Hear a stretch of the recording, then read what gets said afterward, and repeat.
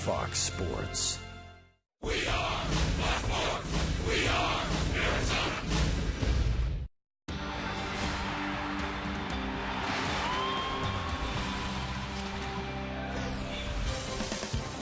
Chase Field here in the Valley. The Arizona Diamondbacks and San Francisco Giants ready to take the field here. Crowd still filing in. A big NL West rivalry. Every game this season has been dramatic, and we expect nothing less here tonight at Chase Field.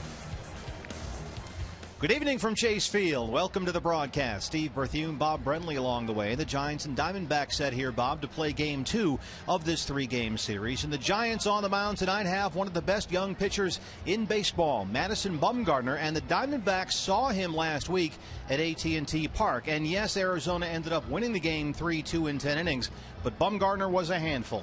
Well, I'll tell you, that's uh, that's not an understatement. This guy is one of the best pitchers in the game. A very young guy, just still learning his chops here at the major league level. But he has tremendous stuff, a tremendous competitive nature out there on the mound. Hits are hard to come by. Runs are even harder to come by against Madison Bumgarner.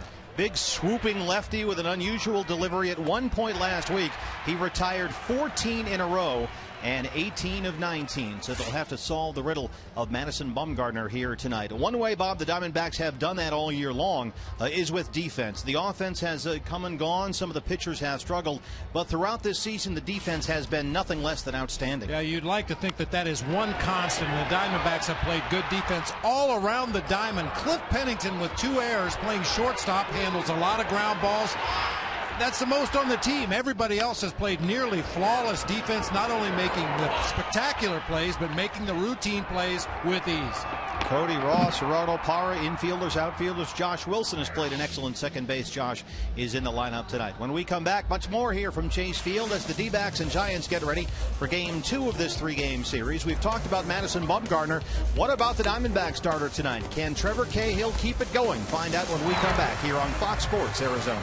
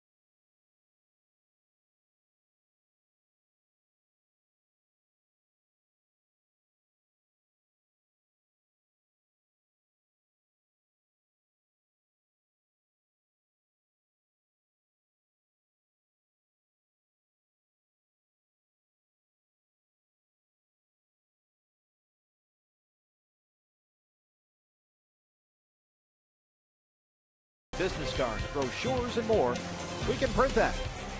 And by George Brazil. George Brazil guarantees the lowest price on a new AC system. Call George today. It's D-backs baseball live on Fox Sports Arizona. Game two of this three-game showdown against the world champion Giants. A pair of a matchup of a pair of outstanding young pitchers in this game for the Giants. Madison Bumgarner, as you just saw, for the D-backs. Trevor Cahill. So far this season, uh, Trevor Cahill, it's kind of been a mixed bag. He's known for having absolutely sensational stuff, tons of movement on his uh, on his pitches. But here's the rub: both Miguel Montero and Will Nieves say Cahill is absolutely lights out during warm-up session in the bullpen, but sometimes that doesn't always translate to the game.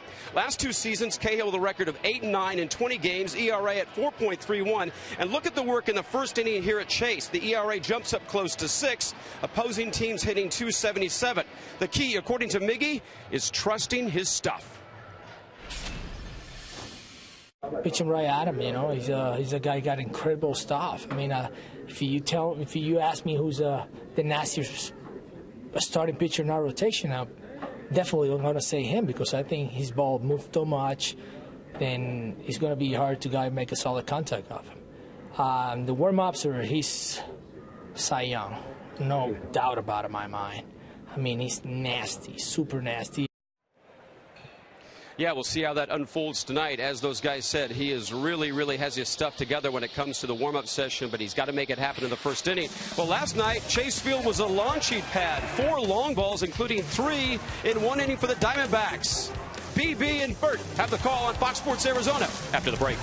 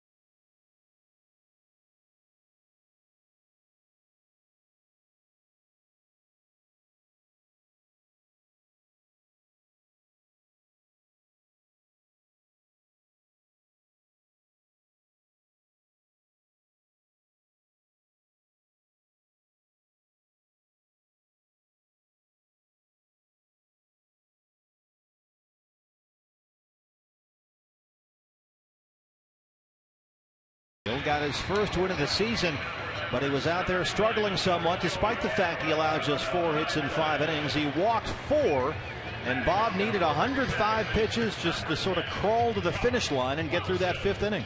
Yeah, really uncharacteristic. You'd like to see Trevor pound that bottom part of the strike zone, get some easy outs on ground balls. Bruce Bochy in his seventh season as the Giants manager, hoping to go nine innings tonight. He got ejected from the ball game last night, arguing a call at first base. And he was right, but he lost the argument. Giants lineup. They weren't sure about Pablo Sandoval, who had to leave the game last night midway through with an elbow issue. It's been something the Panda has been battling all spring long, but he is in there as of right now. Yeah, they uh, had him in the initial lineup. They took a good look at him in batting practice today, made some throws across the diamond to first. He declared himself ready to go. Same lineup we saw from the Giants in the ball game last night. Trevor Cahill last time out, 105 pitches, only 60 for strikes. He is our Arizona 4 Diamondback starting pitcher, and the key for him tonight will be command. Does he know where it's going when he throws it, and can he command it? D-backs 6 and 3 in their last nine, second of three here against the Giants. On this seven game homestand, Angel Pagan steps in. We're underway here at Chase Field on a gorgeous Tuesday night. Now, this may be an oversimplification, partner, but if he would throw that pitch all night long, I think he'd have a great ball game. That well, his stuff moves so much, just throw it in there, let it do it right there. There's a base hit. I mean, some of those are going to get through with Prado in at third, but let it do its thing. Throw some ground balls, pitch efficiency. He's got so much movement on that sinking fastball. I mean, when hitters make contact, they rarely get any elevation whatsoever. It's usually a ground ball. Let your defense work behind you. And as we chronicled in the open of the show, the Diamondbacks defense has been up to the task every day. Roof open, panels open. Nice warm night here. Marco Scutaro steps in. 237, no homers and four RBI. He was on base four times last night.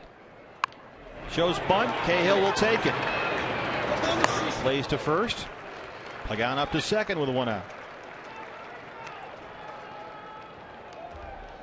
Defensively for the Diamondbacks, Martin Prado back at third tonight. Got the right-handed hitters in there tonight with A.J. Pollock in center, Alfredo Marte in left field, Josh Wilson playing second base tonight. As you mentioned, Prado moves over to third. His versatility allows Kirk Gibson to play Russian roulette with this lineup against left-handed pitchers.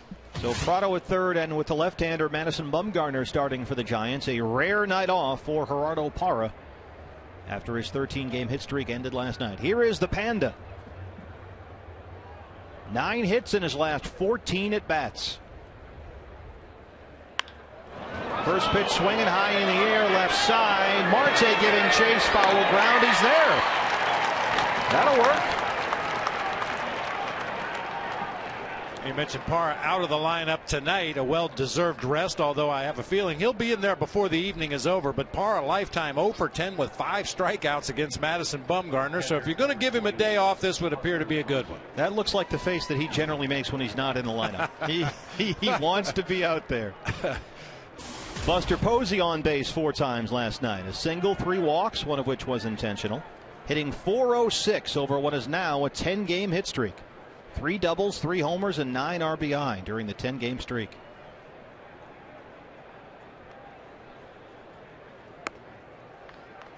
There's strike one from Trevor Cahill, and that will go a long way tonight. The numbers for Buster during this 10 game streak he's in there at 291 on the year, three homers and 14 RBI.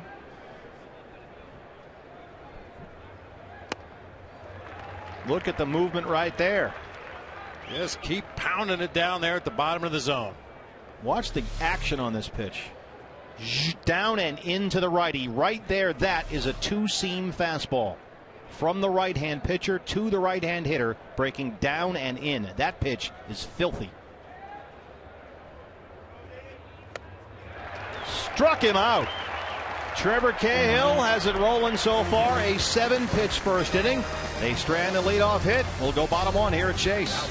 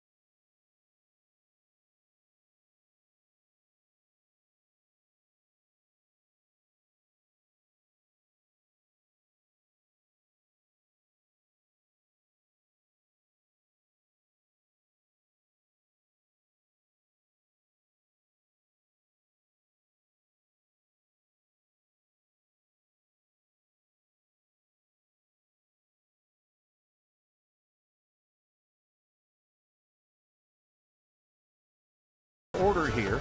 And now the Diamondbacks will face the outstanding young lefty for the San Francisco Giants, Madison Bumgarner. And this is the lineup that Kirk Gibson has put together tonight. AJ Pollock in the leadoff spot and Gerardo Parra, as we mentioned, getting the night off. Well, as you might imagine, not a lot of great numbers against Madison Bumgarner. Paul Goldschmidt three for nine with a homer.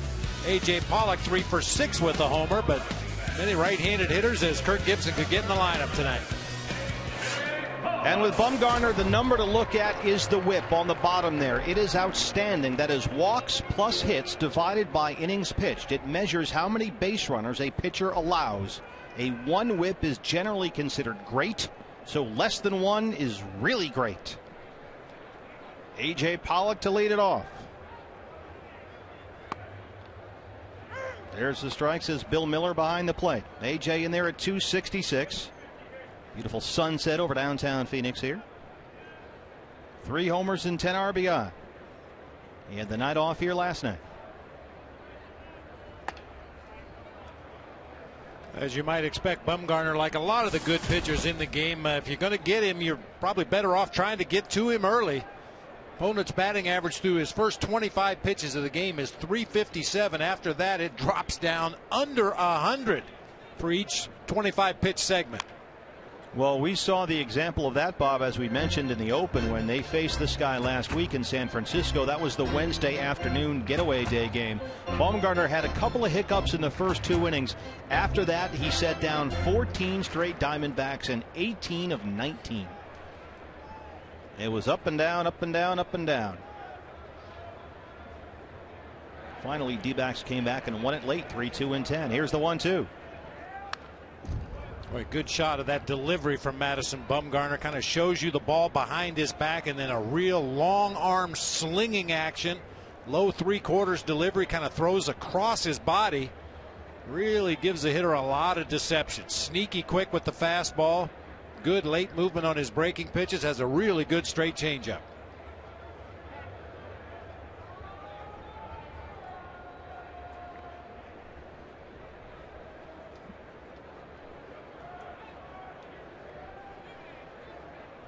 Boy, great shot there from the batter's box suite. Hard to short, Brandon Crawford. There you go. One away. Defensively for the Giants, same lineup we saw last night. Third baseman, number 14, Martin Prado. Solid, I wouldn't say a spectacular defensive team, but they make most of the plays they're supposed to. Pablo Sandoval with the gimpy right elbow may be a little bit of a liability down there at third base tonight. Martin Prado back in the two hole here after his great night last night. And you had to be encouraged with what you saw from Martin last night. Two for five, a single and a home run, his fourth of the year. It was Prado's first multi hit game since April 12th. He's in there at 216, four homers now, and eight RBI. He has scored 18 runs in 25 games.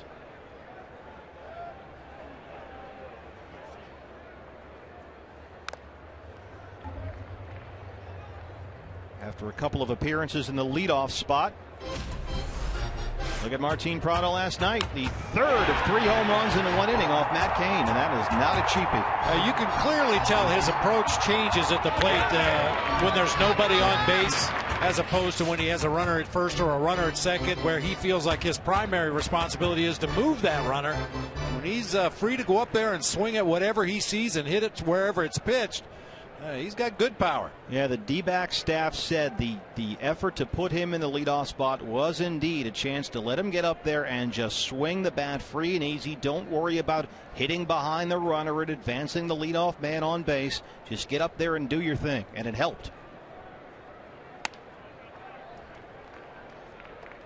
Well, since Martin Prado hit a home run last night, now is a good time to remind you that Every time a Diamondbacks player hits a home run this season, Fulton Homes donates $150 to Central Arizona Mountain Rescue.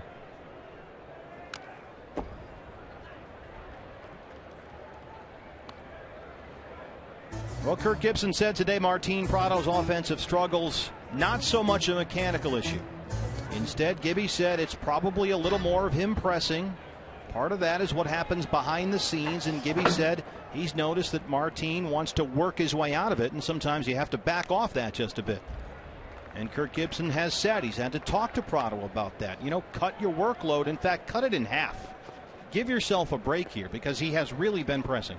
And Gibby's a firm believer in that. We saw it back in spring training. Uh, he feels like you go hard for two or three days and then a little bit of a breather day. Maybe don't do quite as many drills. Maybe don't take quite as many cuts in the batting cage. He's worked it full now, three and two. Because sometimes, Bob, I imagine that you can just keep digging the hole a little deeper when you get in that pattern. And you can get into some bad habits too. When you're struggling, you have a tendency to change things drastically. When the reality is, it's very subtle changes to your swing or to your delivery on the mound for a pitcher. Struck him out. Two down here in the first.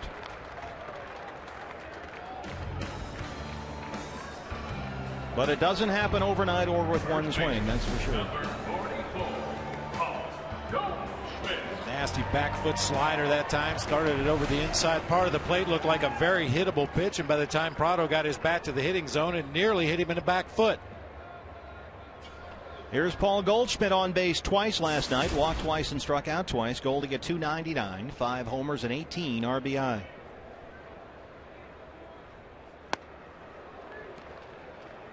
Goldschmidt so far three for 18 on the homestand.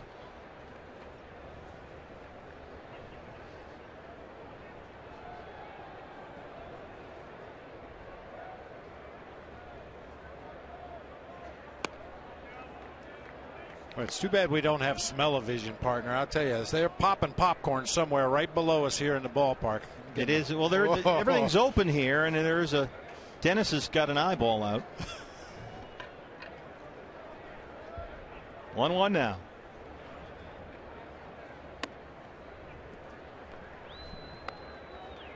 You know, some unusual splits with Goldie here so far this year.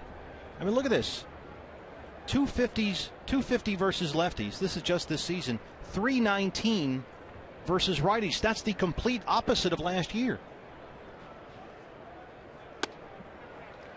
I mean, last season, Paul Goldschmidt's platoon splits 343 against lefties, 257 versus right hand pitchers. But now this year, as we showed you, 319 versus righties, 250 against lefties. It's backwards. High in the air to right. Hunter Pence coming in, coming in. We are through one on a nice night here at Chase and a good pitching matchup so far. No score, Giants and Diamondbacks.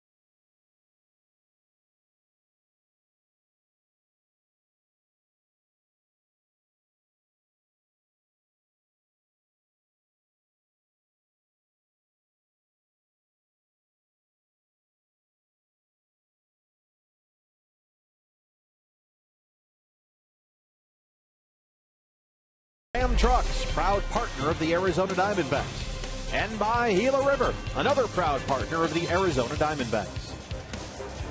Bob Brenly has ordered Dennis, Uh-huh. who runs our booth up here, down to visit Mike and Sharon at Cactus Corn. And uh, BB, that is on the way here, courtesy of Dennis and Mike and Sharon down There'll there. be about half as much of it by the time he makes it up here to the booth. It usually is.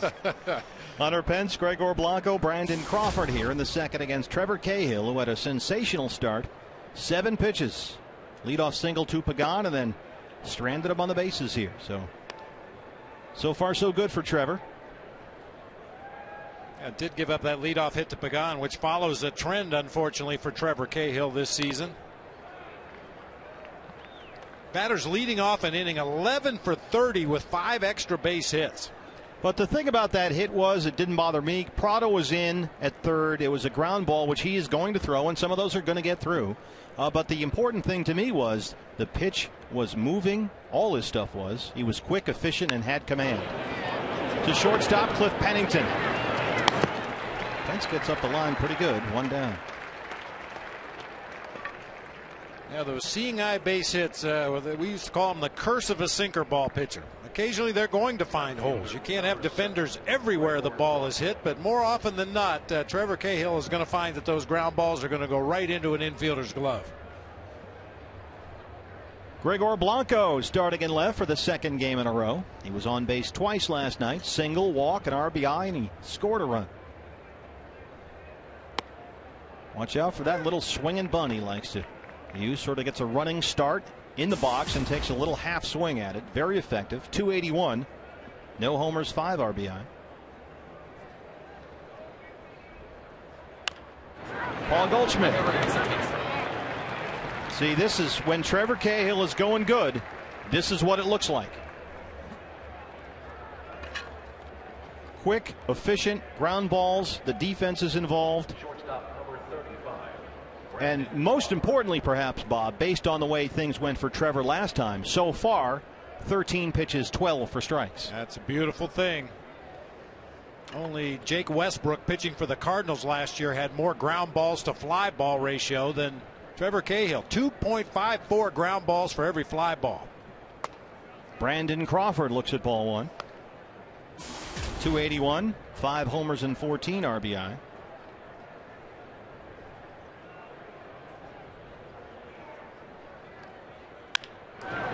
Quick outs, efficient pitch to contact, and a one, two, three second for Trevor Cahill, who has thrown only 14 pitches through two innings. That'll work.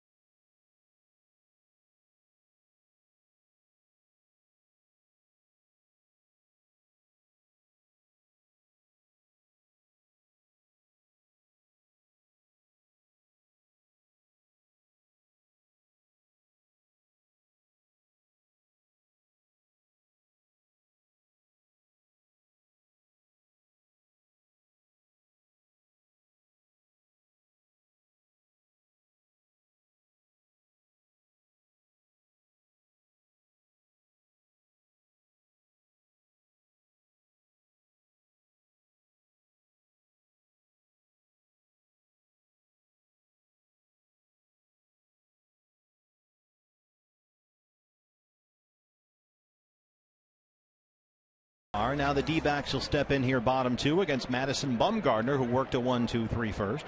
Cody Ross, Miguel Montero, and Alfredo Marte, 4 5 and 6. Cody on base twice last night, single, a walk, he scored a run. Look out! Look out!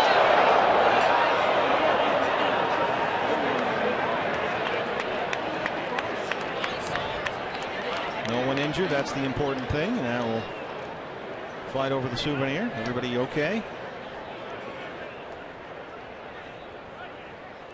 It's got to be something when that young man walks uh, home, comes through the door holding a big bat. what happened?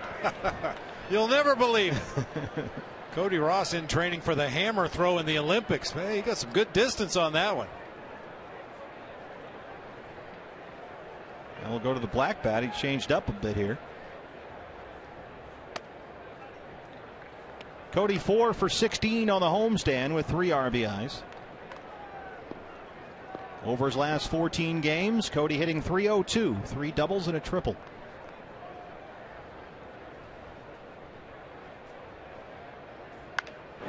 Bumgarner. They don't get any easier than that one away. Hey fans, we invite you to play Kachinko by signing up at one of the 16 interactive kiosks right here at Chase Field during any Diamondbacks regular season home game. And when you play, you get that signed game piece you get to take home with you. Miguel Montero now. Miggy at 198, a homer and 10 RBI. 0 for 4 last night with three strikeouts. And part of the issue for the D backs, Bob, last night was the fact the three and the four hitters, Goldie and Miggy, five strikeouts in eight plate appearances. And that's where the offense just kind of sputtered last night. And we talked about it last night. We've actually talked about the last couple of games. Miggy uh, really getting close. He's starting to hit some balls right on the button, unfortunately, right at defenders. Tough task tonight against the lefty Bumgarner, but uh, talked to Miggy before the ball game. He feels very good where he's at at the plate right now. He knows that eventually they'll start dropping in. Tonight would be a good night to start. He has hit in five of the last seven overall. And he could have a lot more than that, as you mentioned. That one's in the dirt, two and one. That's a, a, tough thing for a young hitter to understand that you can't control results. All you can do is control your effort and your preparation. Make sure your mechanics are good. You do that by taking a little extra batting practice, watching some video. But once you put that ball in play, you can't control where it goes. This one goes high in the air to left field. Blanco underneath. That's the second out. Miguel Montero once again hits it right at somebody. Here he is. You started getting a little frustrated, like, okay, what's going on now? I mean, really? Do they gonna catch every single ball? And uh, but you know what? I gotta I gotta keep my composure. I just gotta keep calm. I mean, it's still five months to go. I was just sit down yesterday and I was realizing. I mean, come on, really? Still 400 more at bats for me. That's our quote of the game brought to you by Geico. I don't blame him for just standing there and going, Really? Really? The one that Fowler caught over the weekend in right center. Alfredo Marte. It's getting there. Close. Marte at 205, four RBIs, eight for 39 this year in 20 games. Two for seven on the homestand with a double and an RBI. Now, if you've ever wondered who works the scoreboard here at Chase Field, there it's not just a you know a guy with a little phone or something. It takes, well, as they say, it takes a village, or in this case, a control room. And it looks a little something like this. This is a, the room from which they operate the giant scoreboard out there, and there's a whole team of people coming up with this stuff to keep everybody informed and entertained.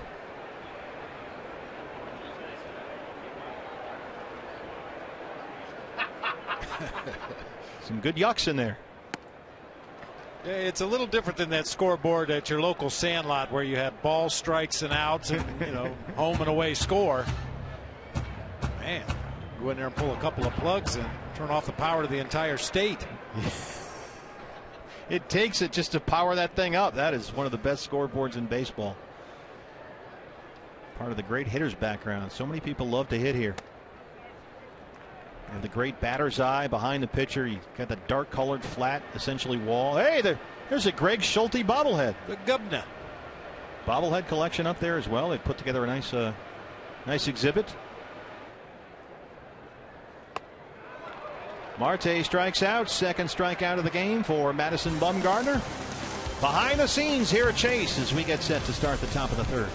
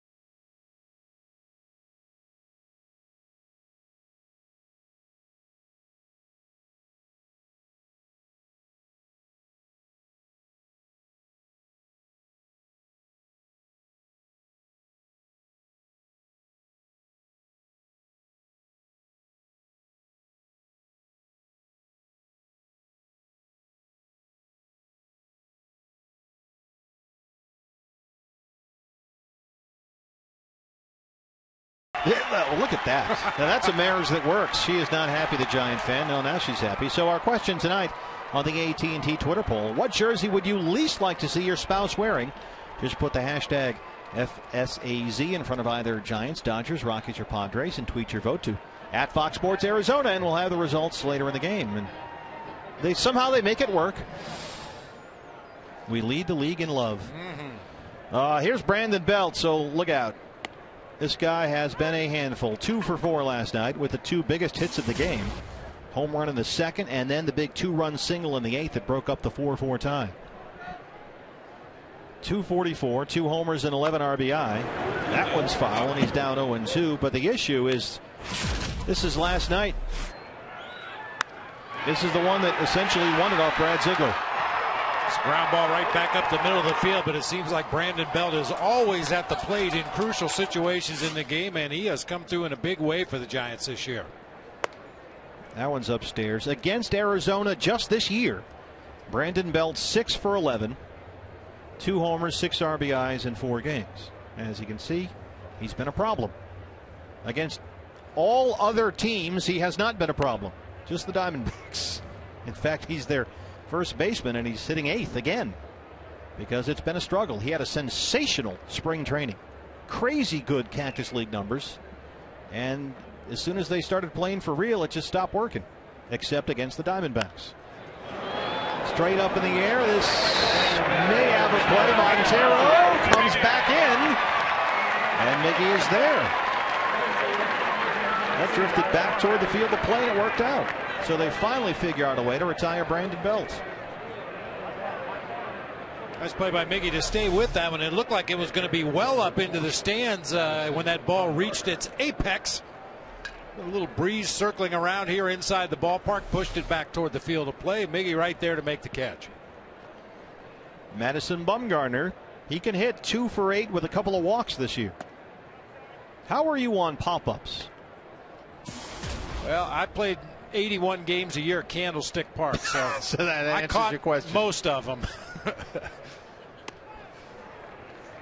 I was comfortable catching pop-ups, but uh, you throw in that swirling wind and the bright sun during the day games, and uh, it, it wasn't easy.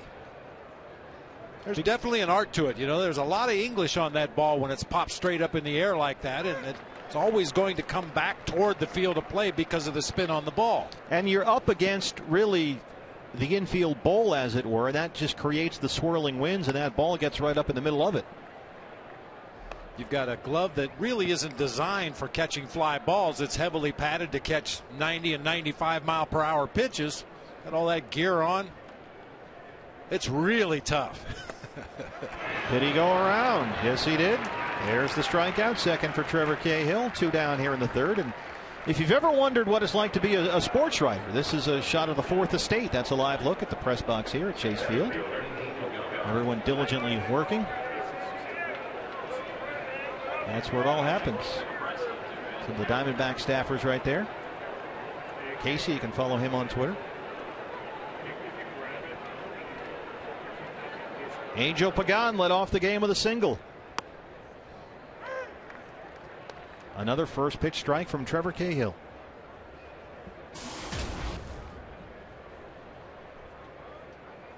Pagan 0 for 5 last night.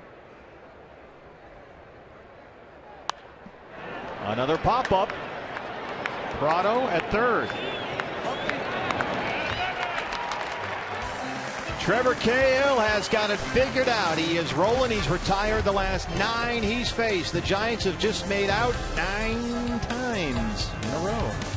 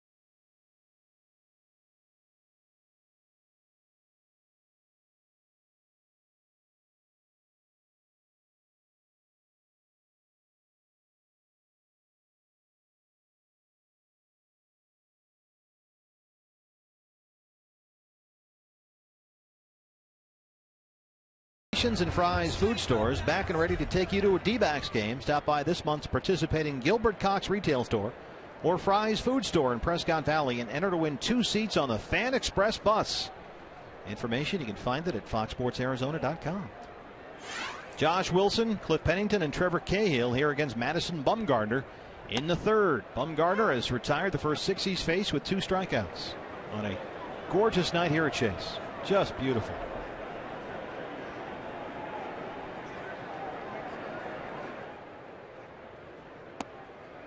One and one now. Wilson not in the lineup here last night. Josh at 231, 2 RBI. He is 6 for 26 in 13 games. But in the games in which Wilson has started this year, he's 6 for 23. He's ahead 2 and 1. 3 for 7 over his last two games.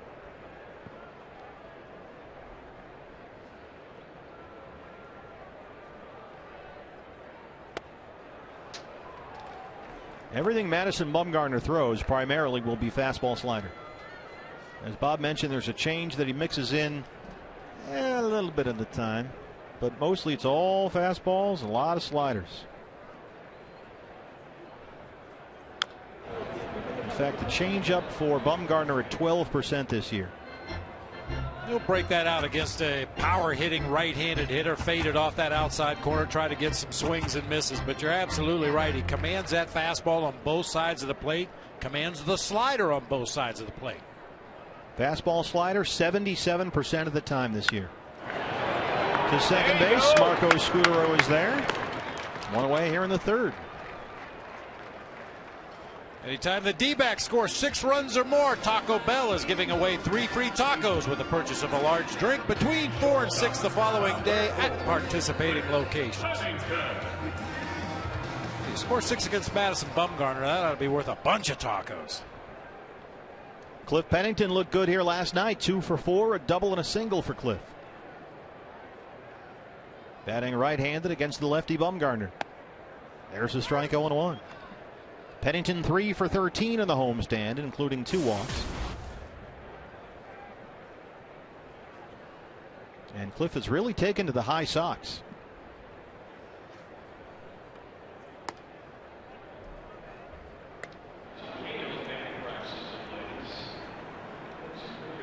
Oh, I always love this view. This is what sold me on baseball forever at Cleveland Municipal Stadium, coming out the runway and seeing that beautiful green field down below. I was hooked. Base hit for Cliff Pennington. It gets into left. There's the first hit of the night for the Diamondbacks. That after Bumgarner had retired the first seven he faced. Pitcher number 35, Trevor Cahill. Good firm low line drive through that left side of the infield just past a diving Brandon Crawford. It's tough for the Giants defensively to really shift one direction or the other because, as we mentioned, Bumgarner commands both sides of the plate so well, you don't want to limit him. So uh, defensively, the Giants play everybody almost straight up. Scutaro shaded way over toward first at second base. So if Cahill can somehow shoot this up the middle, if he's not bunting, and he is bunting, Sandoval crashes at third. Belt has it at first. No play at second. Cahill advances the runner. Pennington to second with two outs. I'm sorry, I, it sounded a little strange. You said you fell in love with baseball by going to Cleveland Municipal Stadium. Do I, the, the, green grass? I'm sorry. Yeah. Did you go to a different Cleveland than I did? No, but that was back in the day. That was a long time ago. But I, I mean, any ballpark. You know, sure. you walk around the concourse and you come up that tunnel, and all of a sudden, boom, there it is in front of you. Just takes your breath away. A.J. Pollock grounded out his first time up. If you could scratch one across here against Bumgarner, that would have really helped. Down the line, Sandoval is there, and the Panda makes the play. But the D-backs finally break through to get their first hit of the game. Pablo Sandoval ends the third. We go to the fourth, no score.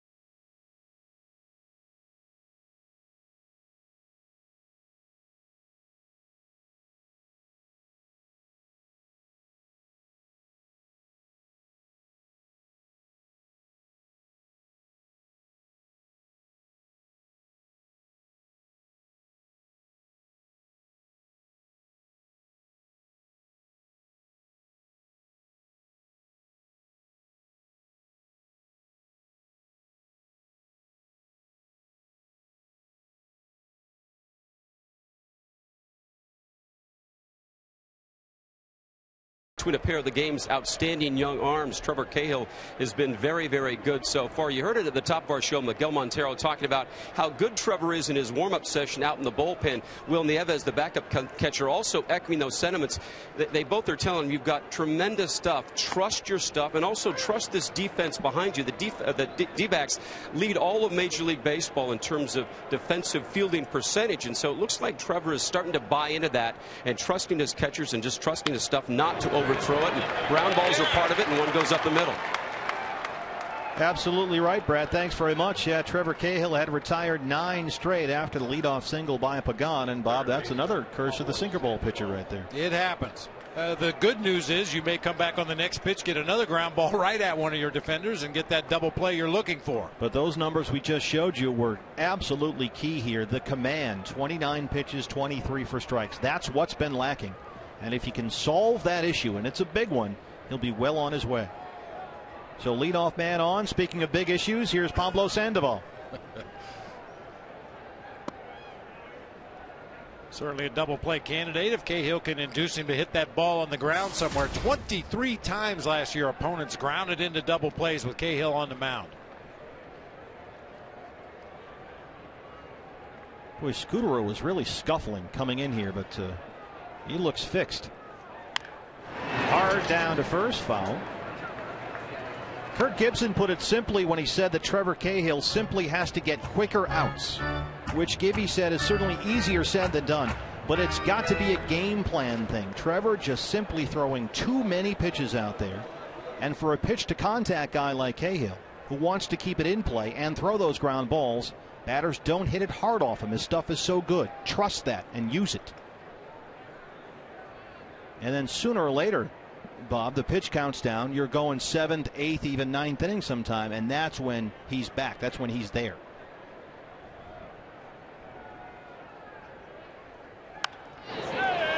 Well, we've talked about how much the bullpen has been used in the early going this season. Not really unusual for any team to use their bullpen a lot in the early part of the season, but Trevor Cahill is a guy when he's right can give that bullpen a night off. Get those quick outs, get those ground balls, get the double plays keep that pitch count down, get deeper into the ball game, and give that bullpen a little bit of a break. One and two now. Two and two. The problem when he can't command the two seam fastball for Trevor is that everything he throws works off of that. So when the two seam fastball is gone and that's his number one go to pitch, where do you go from there? And he just gets caught in this cycle of trying to find something that works. Base hit to right. Scutaro stops at second. Two on, nobody out for the Giants here in the fourth.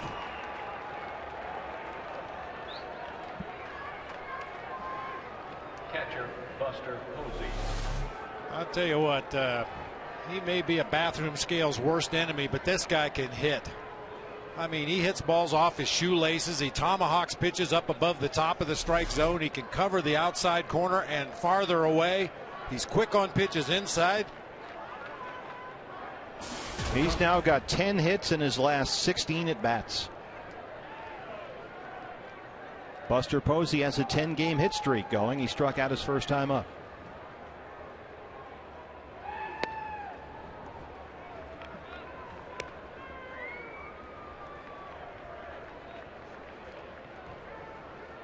You hope the numbers uh, hold true here. Trevor Cahill leads National League pitchers in batting average with runners in scoring position. Opposing hitters only two for 28. It's an 071 average. That might drop in. A.J. Pollock catches up to it. Scutaro hustles back to the bag. He went halfway in case it did drop, trying to score, but Pollock tracked it down.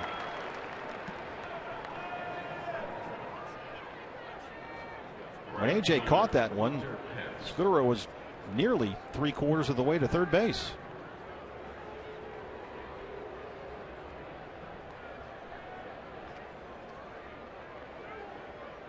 Hunter Pence grounded out his first time up, and if he can get a ground ball right here and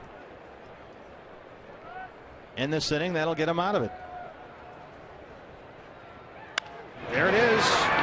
Pennington is there short, get the play at second. They won't turn two, but Cliff Pennington turns in another spectacular defensive play in that Diamondbacks infield. He's done that all year long.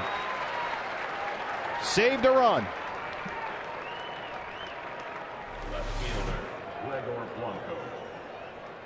Such a quick first step on the ball, accelerates into that dive, and a strong underhanded throw from his knees to second base to get the force out. Yeah, you're right. That saved a run for the time being. That ball looked like it was ticketed for left field, and the Giants were looking at the first run of the game. Bob, we talked about it at the start of the telecast. The defense. It's helping them win games, and it might get them out of a mess here. First and third, two outs. Here's Blanco. He grounded to first his first time up.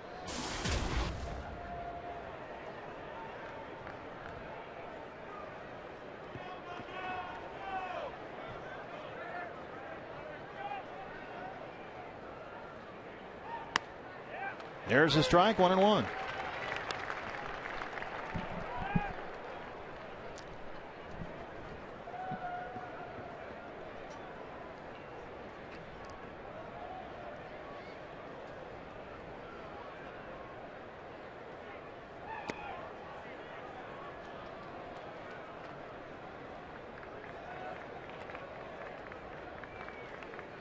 Forty pitches now for Trevor Cahill, 29 for strikes get quicker outs. That's the game plan. There's the pitch counts by inning.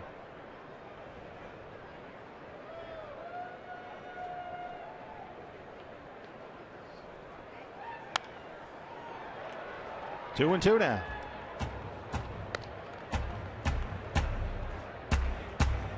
Gregor Blanco last year 244, five homers, 34 RBI in 141 games. He, of course, was the man who made the spectacular running catch that saved Matt Cain's perfect game. There goes Pence at first. Struck him out. Ring him up, sit him down. Trevor Cahill wiggles off the hook. The Giants get the first two on in the inning. They get nothing across. CenturyLink, your link to what's next. The heart of the order. Prado, Goldie Ross when we come back.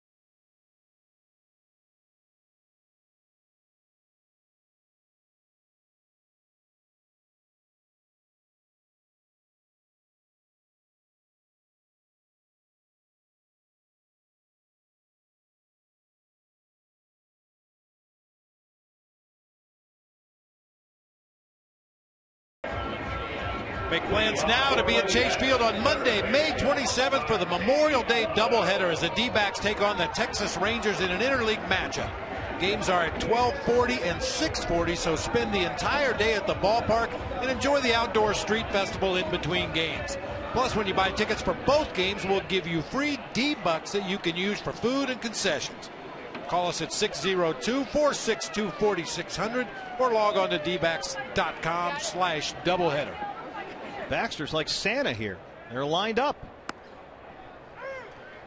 The world's most fan friendly mascot, D. Baxter. Martin Prado struck out his first time up. Prado back at the two hole tonight.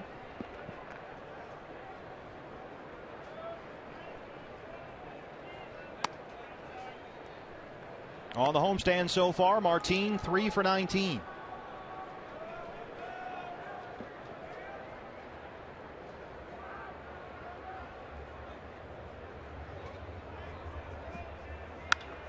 Right field. Hunter Pence giving chase, but it's out of play.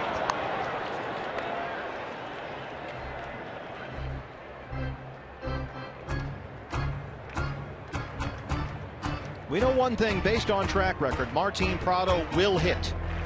He's hit over 300 four of the last five seasons. On base percentage of at least 350 four of the last five seasons. Track record.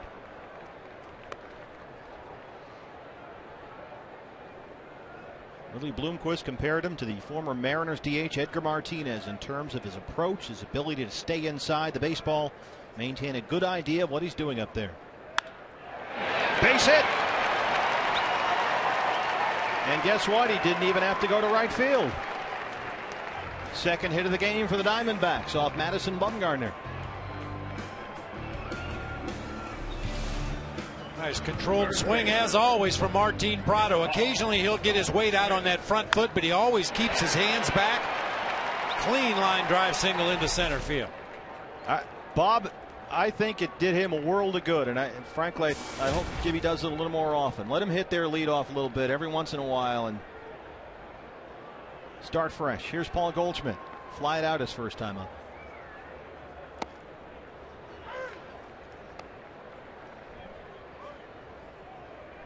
Goldie against the Giants, 357. Three homers and 14 RBIs in his last 16 games. And Tim Lincecum Da, da, da. Starts here tomorrow. Get your tickets now. The Goldie Show. Tim uh, has a history of having just a little bit of trouble getting Paul Goldschmidt out. And hopefully Goldie will be able to capitalize on that trend here tomorrow. There's big time Timmy Jim. Sometimes there's just no logical way to explain why some hitters dominate pitchers and why pitchers dominate good hitters. Just see the ball really well, take advantage of every mistake that comes your way.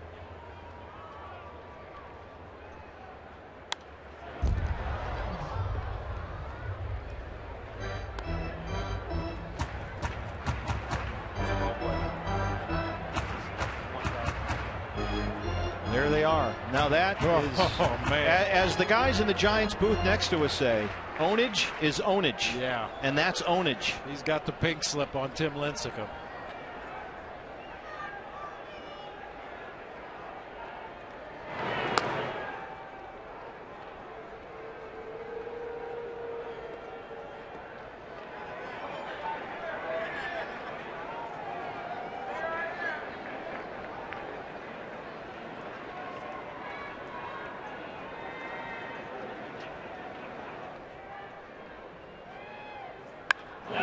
Center field, Pagan froze. Now he comes in. One away. Speaking of Tim Lincecum, our Chevron upcoming matchup. This is tomorrow here at Chase, the series and homestand finale. After that, it's this. It's off to San Diego. But last game of the homestand tomorrow, Tim Lincecum and Brandon McCarthy.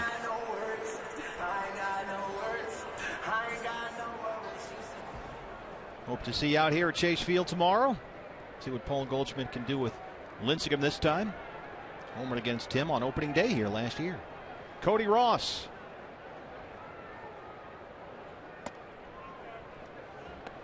Cody tapped back to the mound his first time up.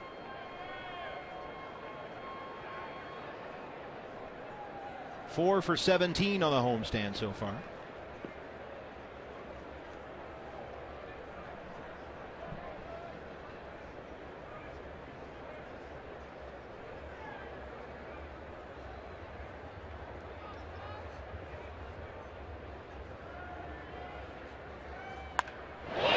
Pulls it down the left field line. Foul. Due to take one out of here. I agree. Tough one to keep fair right there. That slider from a left-handed pitcher working its way inside. Cody got the barrel on it. Unfortunately, it's just very tough to keep that ball fair. Cody five for 15 versus left-hand pitchers so far this year.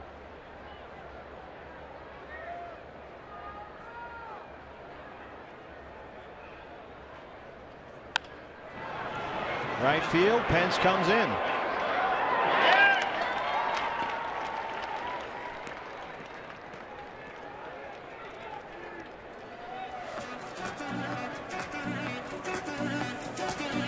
How about Miggy's walk-up music?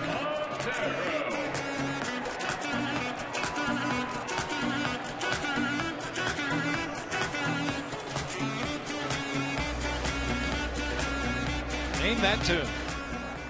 You got me. Yeah, me too. We'll It's not, if it's not Tom Petty, I don't know what it is. Montero flied out to left his first time up.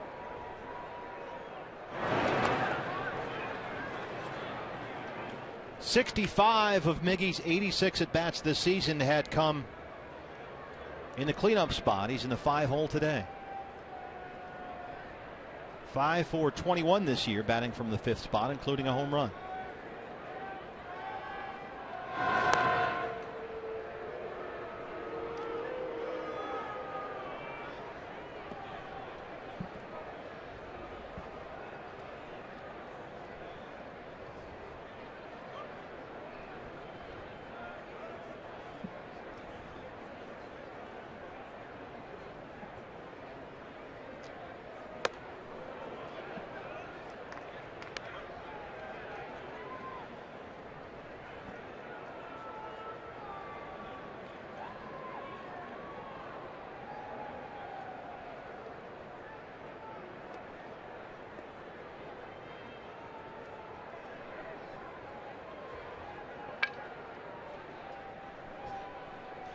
Here's the 1 0.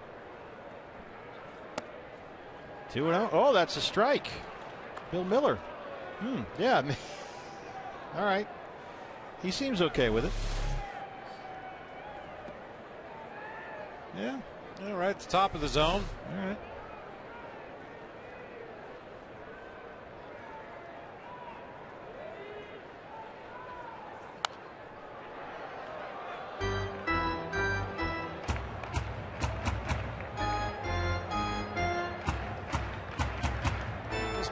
Bumgarner, he's an interesting cat. I'll tell you a lot of funny stories in the media guide about him. He married his high school sweetheart back on Valentine's Day of 2010 and gave her a five day old calf as a wedding present. How about that? Is that like a dowry? I Or a- guess. Or a, barter deal? Oh, jeez. As a now, what do you do? You keep it as a pet? Can't eat it, can you? No, it's em- emotional attachment there. Well, while they're uh, meeting at the mound here, quick story. Mike Krukow in the booth next door told us about Madison Bumgarner on a trip to Colorado. Uh, they get off the plane, get on the two buses. There's Krukow on the left, Kuiper on the right. Get on the two buses to head to downtown Denver. It's about a half hour, 45 minute drive, and the first bus broke down. So they both pull over to the side of the road, flip open the hatch on the back of bus number one that was broken down. Madison Bumgarner grabs a screwdriver and a wrench and gets underneath there and fixes the team bus. He's a handy guy. They love his demeanor. Very Oh. quiet, humble, no nonsense, very simple guy. But boy, he can pitch.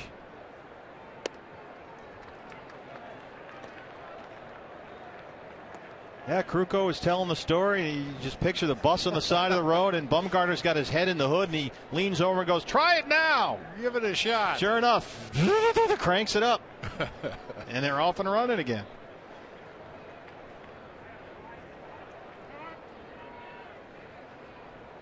I told you guys the story before the ball game today when I first met him a couple years ago at uh, Wrigley Field. They were just coming off an off day in Chicago, and I said, "Did you enjoy your off day? What'd you do?" Down the street to one of them shopping centers. Drops in. Prado heads for third. Miguel Montero, first and third, two outs for the D backs as they go shopping for a run here.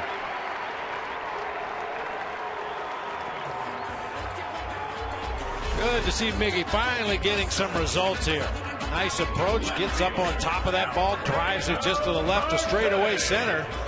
Boy, Pagan conceded that bag from second to third rather easily for Martin Prado. I think he would have had a shot at him had he come up firing.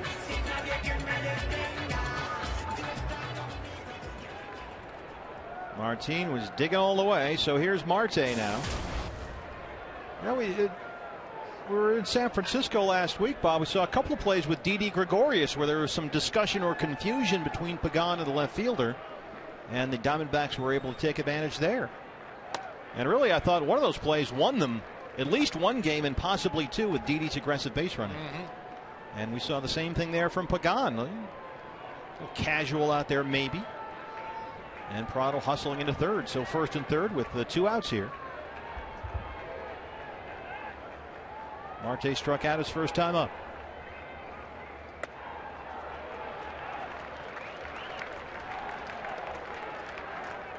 Josh Wilson in the background there on deck.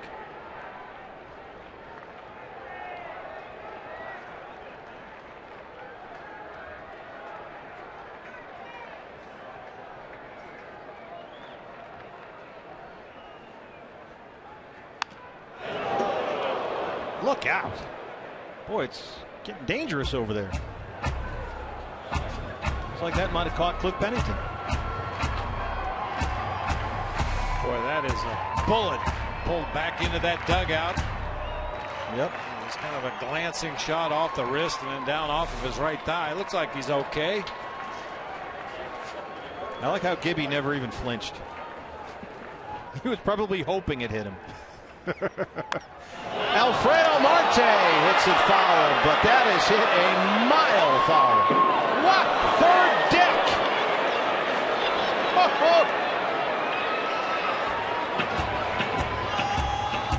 Off the walkway. Yeah, there it is. He turned that into fettuccine Alfredo. Nice hustle there. Wow. That was a foul ball and a half. Straighten it out. Right field, Pence. Diamondbacks get two hits, but they strand two. We're through four here. No score. Chase.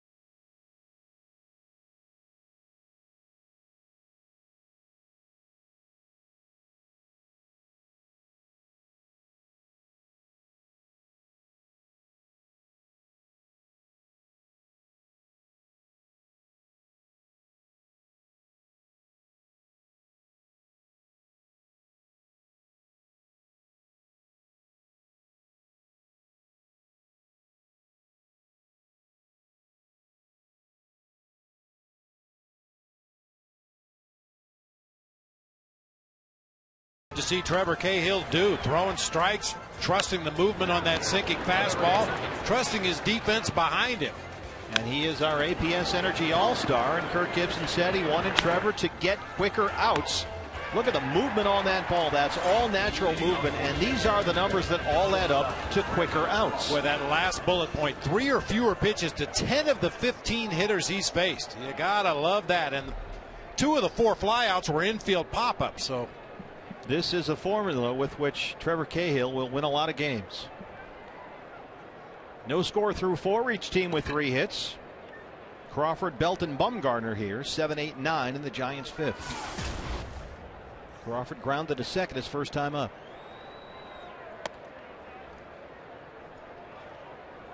Brandon Crawford 0 for 3 with a walk last night. He leads the Giants with five home runs and 11 extra base hits. But he's been slumping lately, 1 for 15 coming in here. He is 0 71 on this Giants road trip.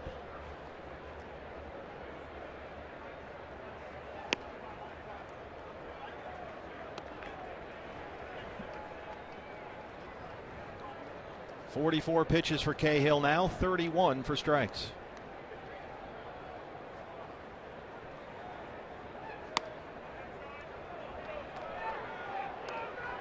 He's fallen behind here 3 0 with Belt on deck.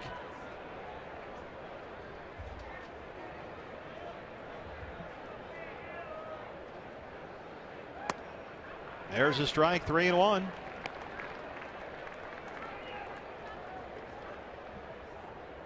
Listening to Greg Schulte and Tom Candiotti, glove ready.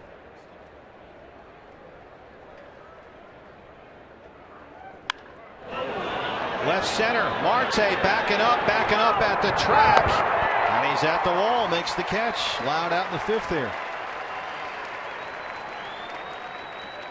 Sunday, it's the premiere of Cup of Coffee with Steve Berthiaume. Ken Kendricks talks to Steve about being a baseball owner and what his plans are for that famous Honus Wagner baseball card. It's Cup of Coffee this Sunday at 4 on Fox Sports Arizona. Looking forward to that. Got the chance to sit down with Mr. Kendrick and talk about a lot of things. Growing up in West Virginia, running a baseball team, being a businessman here in not only the Valley but in all of Arizona. So thanks to him for his time, and it was a really fun discussion. Got that one coming up. Another one with Miguel Montero on the way later that month. Brandon Belt, 0 for 1. That in itself is a story, the way he has tortured the D back so far this year. Well, that at bat by Brandon Crawford, the first time that Trevor Cahill has gone to a three ball count so far in this game. And he's behind 2 0 here, so that's a trend you want to quickly reverse if you can. There's a strike, 2 and 1.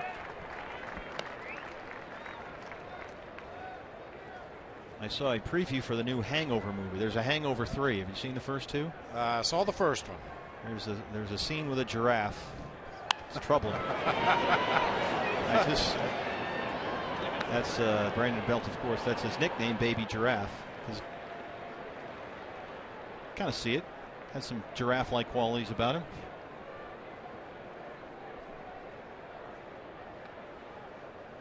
Is that the same girl from last night? You're, when you said stifle it, Susie, or whatever you said? No, different. No. Okay. They're in they're in counseling right now. The couple from from last night. Three and two now.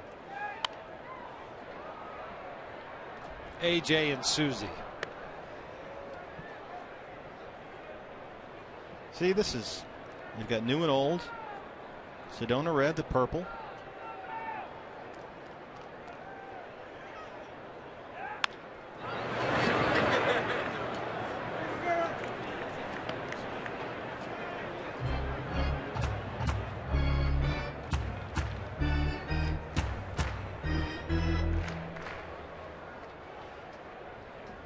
How's my hair?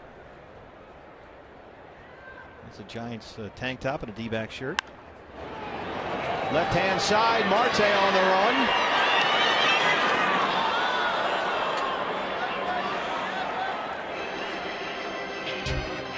Alfredo was shaded way over towards center, so a bit too much ground to cover there.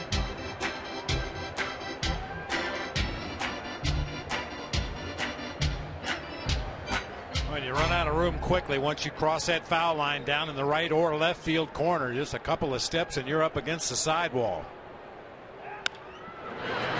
Josh Wilson. And they finally figure out a way to get Brandon Belt out, and that at bat, he's 0 for 2 tonight.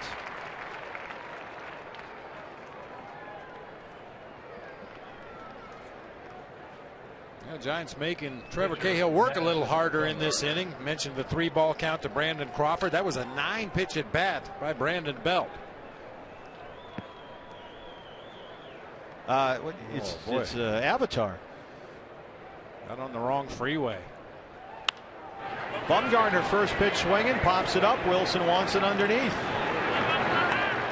And there's a one, two, three, fifth for Trevor Cahill. We go bottom five, no score.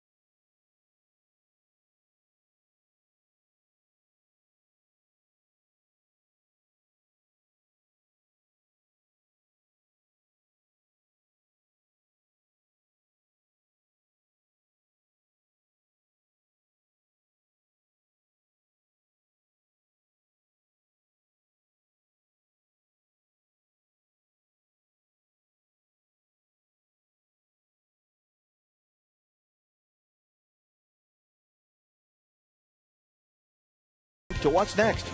By Mazda. We believe if it's not worth driving, it's not worth building. And by Jack in the Box. The Chipotle Chicken Club combo is back for a limited time at Jack in the Box. Try one today with fries and a drink for just $4.99 plus tax. Josh Wilson leads off the Diamondbacks fifth against Madison Bumgarner. No score so far. Each team with three hits and a very good pitchers duel here, which is good news for Trevor Cahill, who's now retired the last six he's faced. Wilson grounded out his first time up. Wilson, Pennington, Cahill here, 7, 8, 9 in the Arizona fifth. Hard down the right field line. Foul. It's 0 2.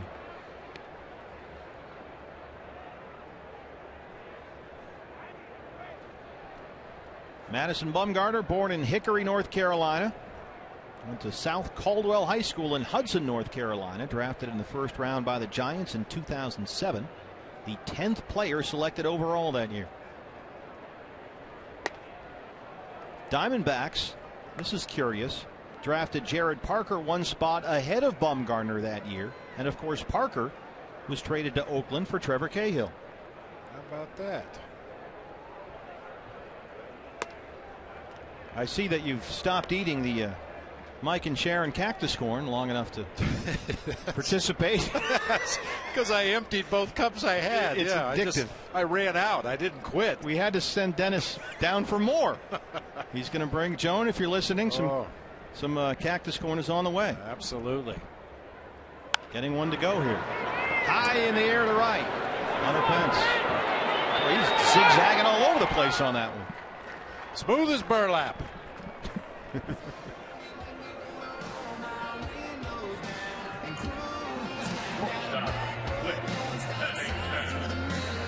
Cliff Pennington starting to come around here. Cliff had a single his first time up. And he's had some spark to his bat last few games here. He's had a good homestand. Maybe it's the high socks.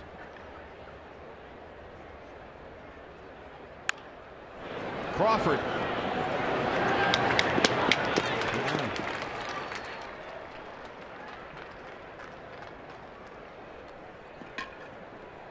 Talking about Madison Bumgarner's pitch selection, the numbers at brooksbaseball.net, which does a tremendous job with Pitch FX, show that Bumgarner threw 1,412 sliders last season. That's the most among all starting pitchers in baseball. He threw more sliders than any other starter in the game last year. And one study at Fangraphs showed that most pitchers throw the slider about 15% of the time, but last year Bumgarner threw his slider 40% of the time. That's some wear and tear. All those sliders can lead to perhaps some injury concerns from stress on the elbow and the shoulder. He doesn't torque his arm as hard on his slider as some other pitchers might. We we documented early on in the ballgame that slinging action he has with the left arm as he turns to deliver the ball to the plate. Just a slight tweak of the grip uh, gets that slider to do what he wants it to do. Some pitchers really have to maneuver the baseball and turn their wrist and snap their elbow at the point of release to get the kind of break they're looking for. Bumgarner doesn't have quite the same stress throwing his slider. One and two to Cahill. Scutaro is there. Bumgarner has now retired six of the last seven he's faced. We're through five. No score here at Chase Field.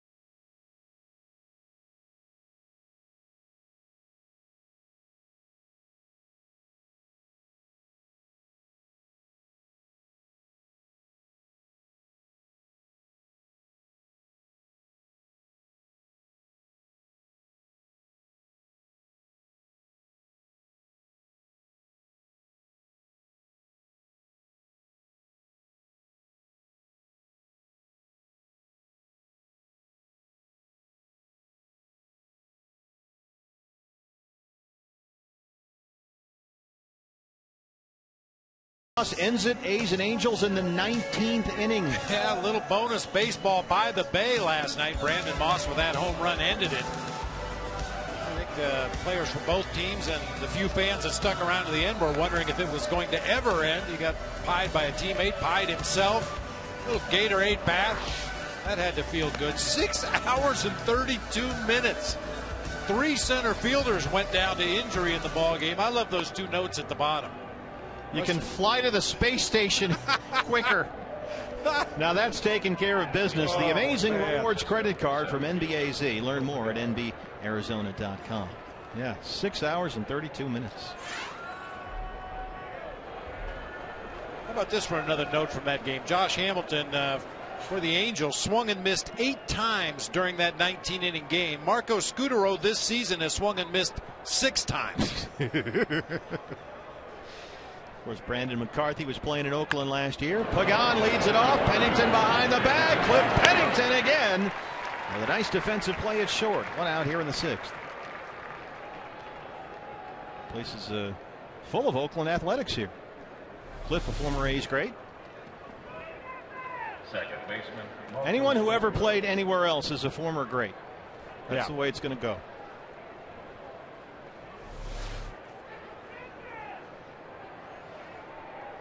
All right, uh, we have an issue here with yeah. Marco Scutaro. Oh, Goldie had an equipment issue. Yeah. That's been taken care of, and now Marco Scutaro can come in.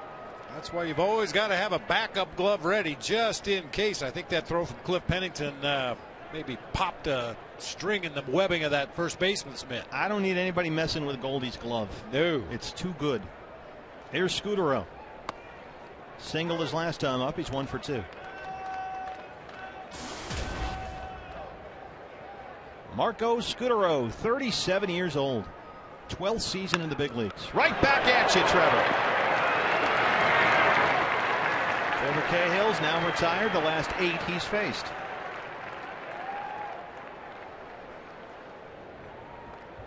That seems to be a common trait among sinker ball pitchers, the ability to field your position. When you're throwing so many sinkers and getting those ground balls, some of them are inevitably going to come right back to you on the mound. Trevor Cahill in good defensive position, able to make that play easily. 60 pitches, 43 for strikes, and they're fixing Goldie's glove, thank goodness. The Panda. Sandoval has fouled out and singled. He's one for two. Father and son at the game here at Chase with glove in hand, ready to go. Goldie might need that later.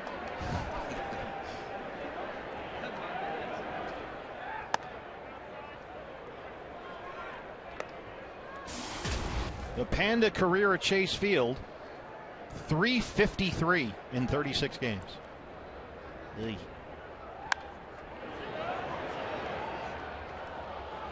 And they were worried about the elbow, had to come out of the game yesterday. And uh, the Panda said after the game last night the elbow pain was similar, but not as severe as the right elbow neuritis he went through in spring training that almost put him on the DL. Stays alive, two and two now. Sandoval had an MRI in the spring, and they found an inflamed ulnar nerve and a bone spur in there, and it's uh, it had been fine for most of the season, but a little flare up last night. And they weren't sure about him today, and here he is. Occasionally it'll bother him on a throw if he has to rush it, can't get his arm into a good angle, but uh, more often than not, it's on awkward swings because Pablo Sandoval likes to swing that bat. Does he have any other kind of swing? Adam Eaton getting closer. Puts a swing on that one to straightaway center. A.J. Pollock. Trevor Cahill is now retired the last nine he's faced. That's a nine pitch inning. CenturyLink, your link to what's up next. A.J. Pollock, Martin Prado, and Paul Goldschmidt top of the order in a scoreless game.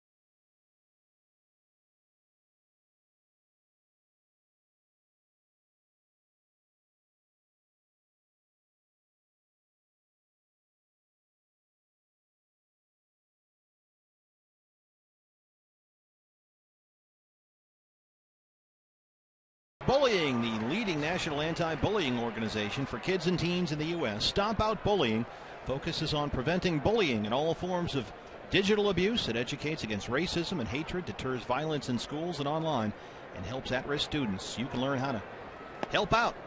Please visit stompoutbullying.org. AJ Pollock 0 for 2. Pollock, Prado, Goldschmidt 1, 2, and 3 here in the sixth. Trevor Cahill has been terrific. Madison Bumgarner has been very good. Each team with three hits. 0 0 in the sixth. And tell you what, Bob, if this is what we're going to see from Trevor Cahill the rest of the year, I'll take it right Oh, now. yeah. Where, where do I sign? no doubt about it. he has looked terrific. This is the kind of game both pitchers uh, really dealing out there on the mound. Both defenses making plays behind them. Uh, you get the feeling this is the kind of game that's going to hinge on some kind of a mistake. Either a mistake pitch to the wrong hitter, a defensive error. It's been a crisp, well pitched game up to this point.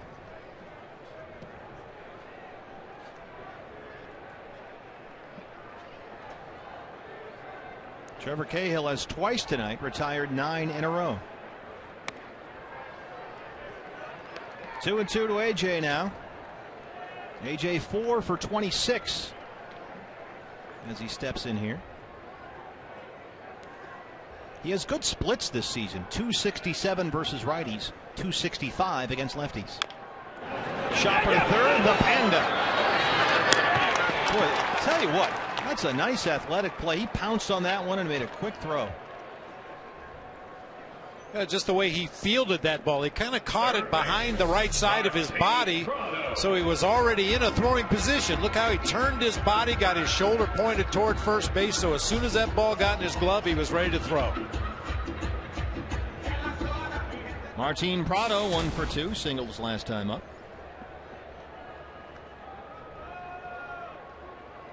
Four for 20 on the homestand. There's a strike 0 1.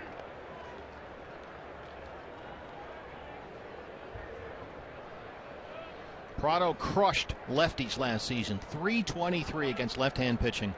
Led the major leagues. 22 doubles against lefties. Straight up in the air. Pagan.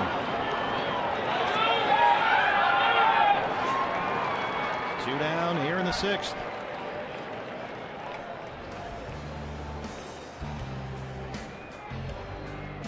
Bumgarner has now retired eight of the last nine he's faced. And with two outs, here's Paul Goldschmidt, who's 0 for 2.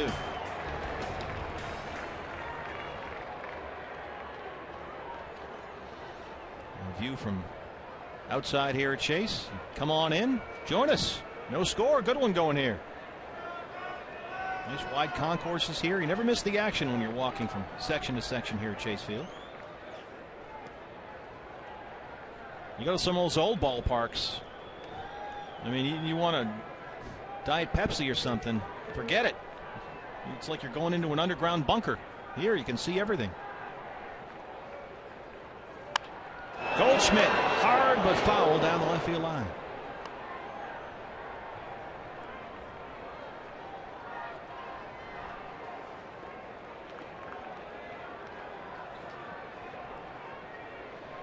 Paul Goldschmidt, born in Wilmington, Delaware, went to high school at the Woodlands in Texas.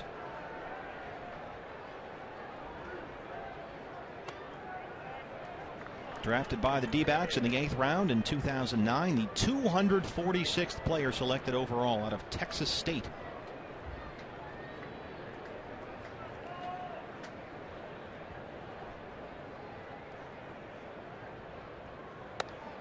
There were 245 players they like better than Goldie, all of baseball. We talk about it all the time. It's an inexact science. Sure is. Sometimes guys slip through the cracks.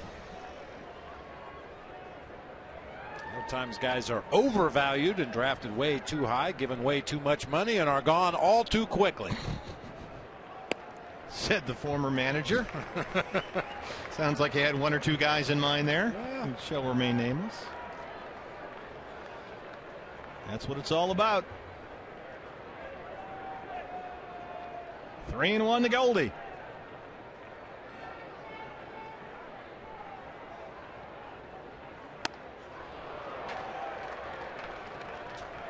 Boy, Goldie rarely gets a pitch, especially a fastball, from the middle of the plate in anymore. If teams are going to throw him a heater, it's going to be on the outside corner or farther away. Posey's just been living out there on Paul Goldschmidt so far in this series.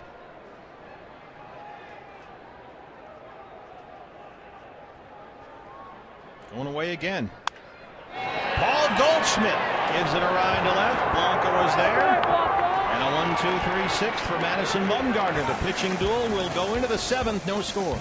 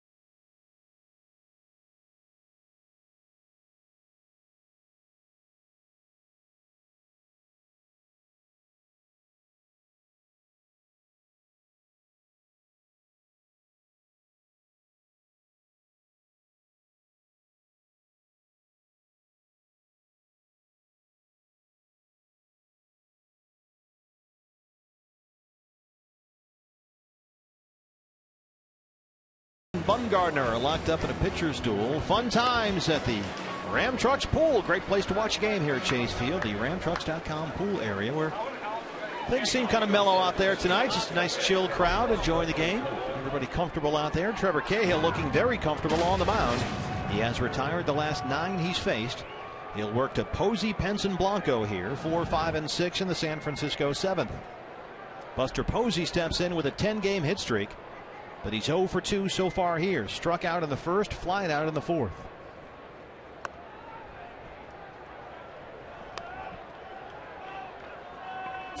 Sixty-seven pitches for Trevor Cahill, 47 for strikes.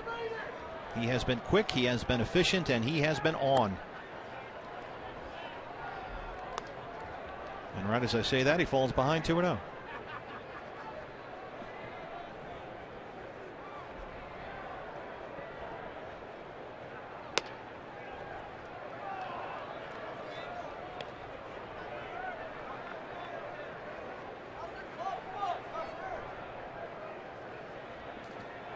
Believe Posey has the green light to swing 3 0 if it's a pitch to his liking. Four pitch walk to start the inning from Trevor Cahill. That ends his streak of nine straight retired. Leadoff man on for the Giants. Obviously, a red flag when a guy has been pounding away at the strike zone as effectively as Trevor Cahill has been tonight. Four pitch leadoff walk here in the seventh. Probably start moving around a little bit down in that Diamondbacks bullpen, just start stretching their legs. Well, he threw 105 pitches in his last start, and he's just crossed the 70 mark now, so he should be fine for a while.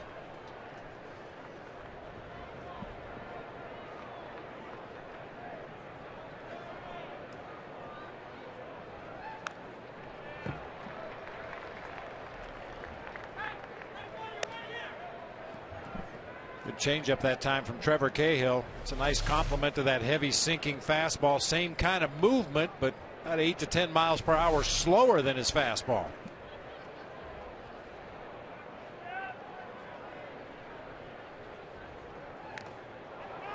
Chase that one in the dirt, but got a piece of it.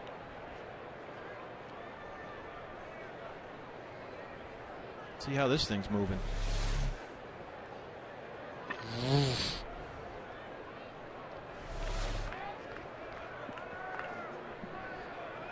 That was my lightsaber sound effect for I Trevor. thought it was, yeah. He's a, he's a big Star uh, Star Wars guy, Trevor. There's a strike. Bring him up, sit him down. One away here in the seventh. Fourth strikeout of the night for Trevor Cahill. A nice comeback after that four pitch walk. Look at this sinker. Starts off the outside corner, works right back into the zone for a called strike three. Gregor Blanco is 0 for 2. Hunter Pence is striking out a lot this year. That was his 27th on the season already.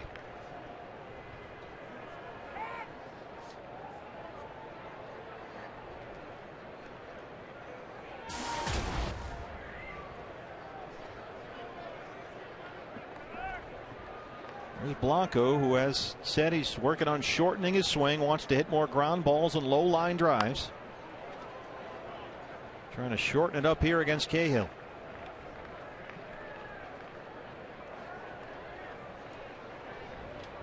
His 27 strikeouts by Hunter Pence barely get him into the top 10 in the National League. Jay Bruce pacing the way with 38 punchouts already. Well, Goldie's not too far behind. He had 31 and 97 at bats coming into tonight. He's 0 for 3 with three flyouts. I think it goes back to what you were saying, Bob, about Goldie and working him low and away like that. Second base, can they roll it? Wilson, Pennington, Goldie, Trevor Cahill. Seven shutout innings. Get up and stretch. Home half of the seventh on the way. 4 6 3. No score.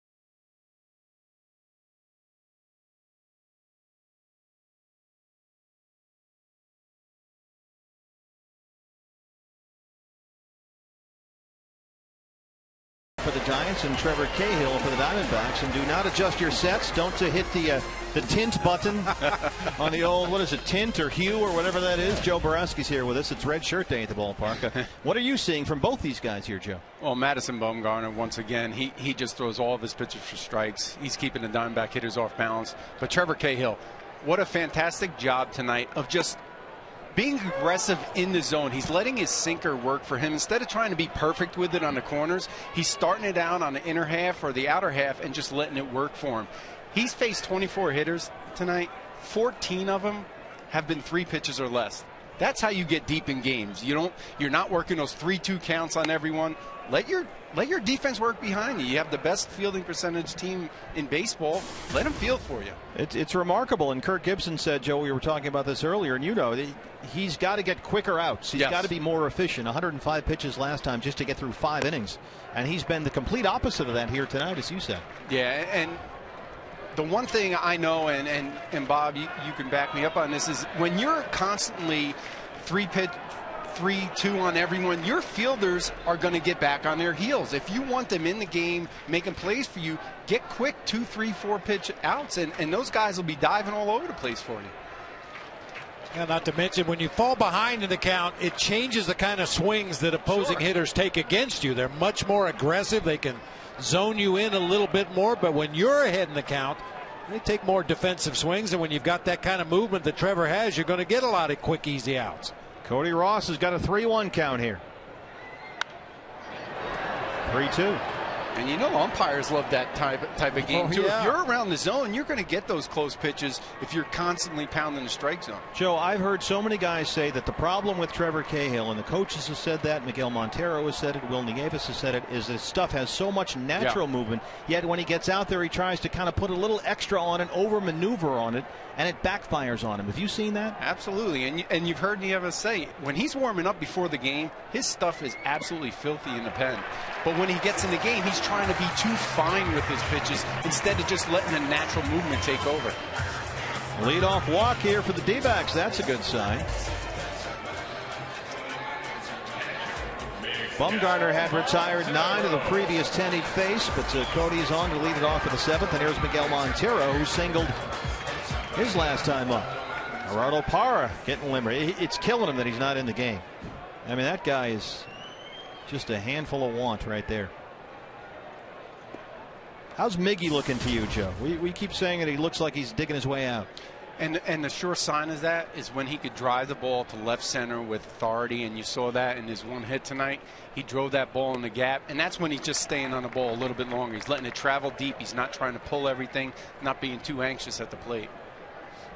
It was funny. We had we ran that soundbite where he's just said he, he was starting to stand there and watch all these balls hit the gaps, get caught, and just go, really, really. The baseball gods are not kind to you when you are struggling. A good patient at bat here, getting himself in a good hitter's count. This is interesting. A leadoff walk, and now he's behind 2 and 0 on Montero.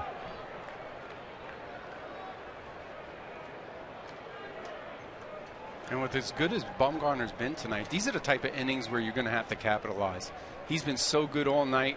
Now he's having a little bit of trouble with the strike zone. You have to make him pay here.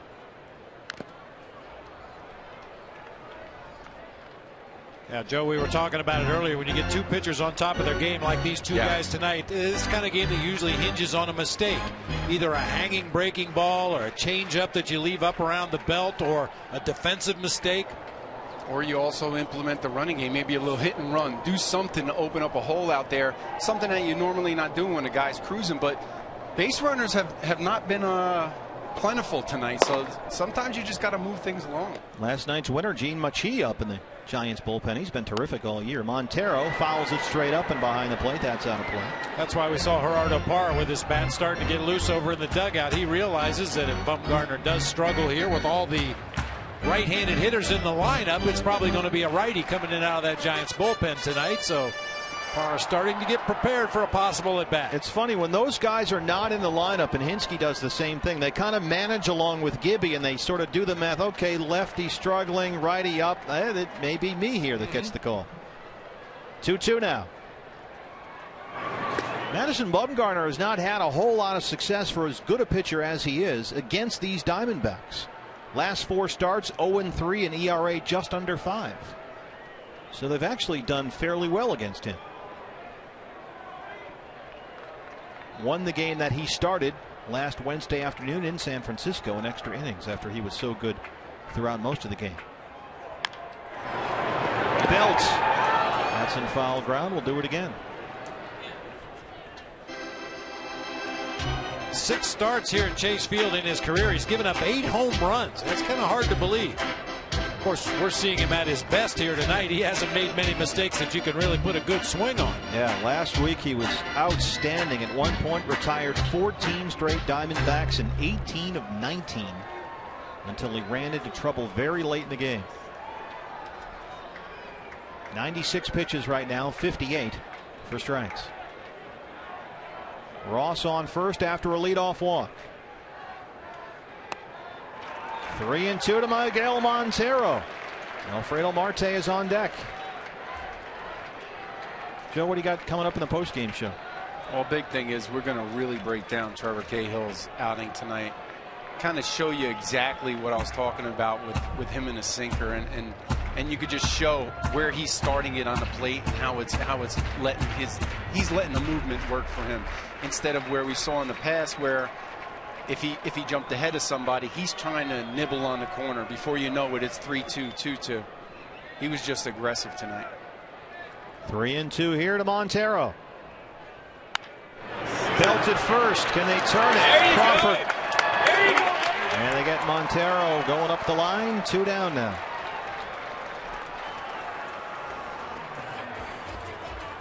Yeah, we've only seen Joe Trevor Cahill like this once this year that I can recall, and that was his start against the Dodgers here before we went out on that long nine game road trip.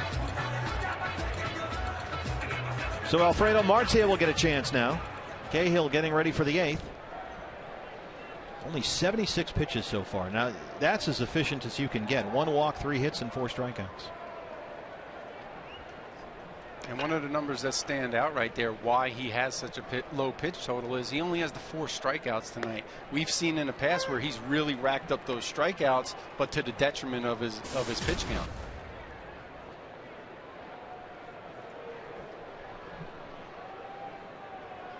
Alfredo Marte 0 for 2, 8 for 41 on the year.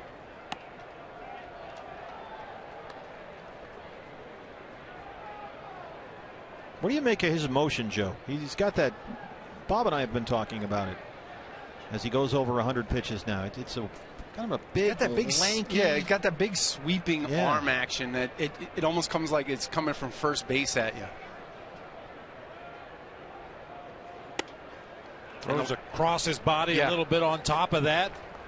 And he throws that big slurve, and a lot of times most hitters give up on that because they think it's going to be way outside, and it just has that late late break into the strike zone. Well, what was happening with him last year was he was kind of swiveling around so much he was almost at times facing second base, and he had a Hideo Nomo kind of thing going for a while. But he's got that under control. Belt behind the mound, he has it, and that's the inning. Joe, thanks very much. Look forward to the postgame show. Appreciate it. No score. We head to the eighth here at Chase.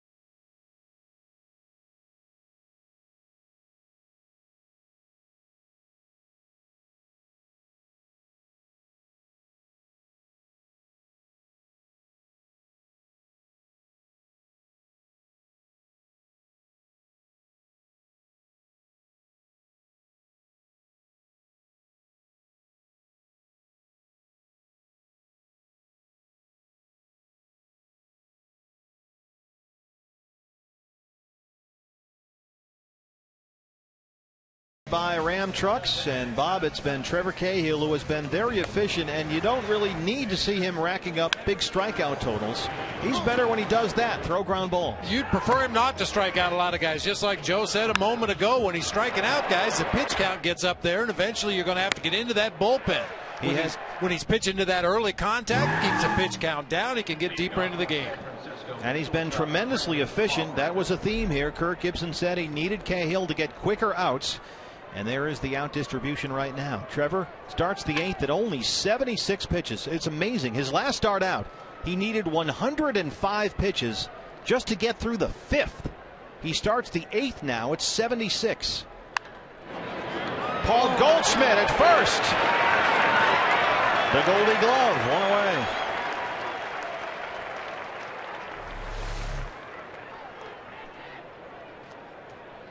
Boy, Diamondbacks defenders just jumping through flaming hoops here tonight, making all the plays.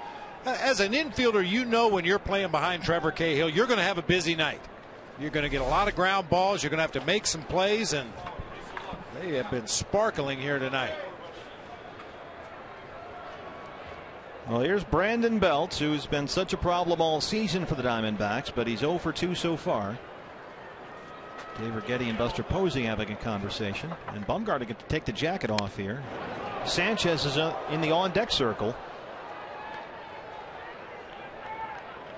Pitcher spot due up third here in the eighth. There's a chance Bumgarner could take the at bat should Brandon Belt reach. You may decide to send him up there to put down a sac bunt, even though that would make the second out of the inning. Let's see how Bruce Bochy wants to play this. Maybe two outs, nobody on. You let him take the at bat. You know he wants to take that at bat and stay in this game. Strikes out Brandon Belt. Fifth strikeout for Trevor Cahill, and the two seam fastball that breaks in towards right handers and tails away from left handers has been working really well tonight. For So Sanchez will hit. That ends Bumgarner's night. Hector Sanchez. I'll tell you what, no disrespect to the Giants bullpen because they've been very, very good this year, but anybody but Bumgarner. Good riddance. He was outstanding again. And the thing about Madison Bumgarner is he's only 23 years old. How about that? Pennington from center field. Oh! Cliff Pennington. What a night Cliff has had at shortstop, or in that case, from shallow center. We'll go bottom eight. No score here at Chase.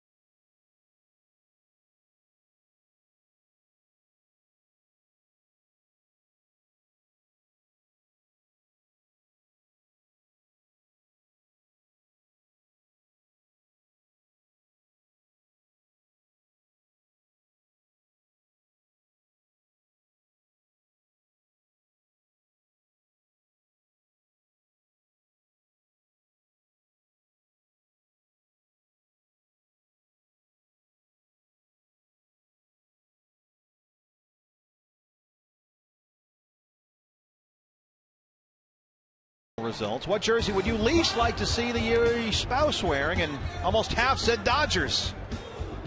Good call.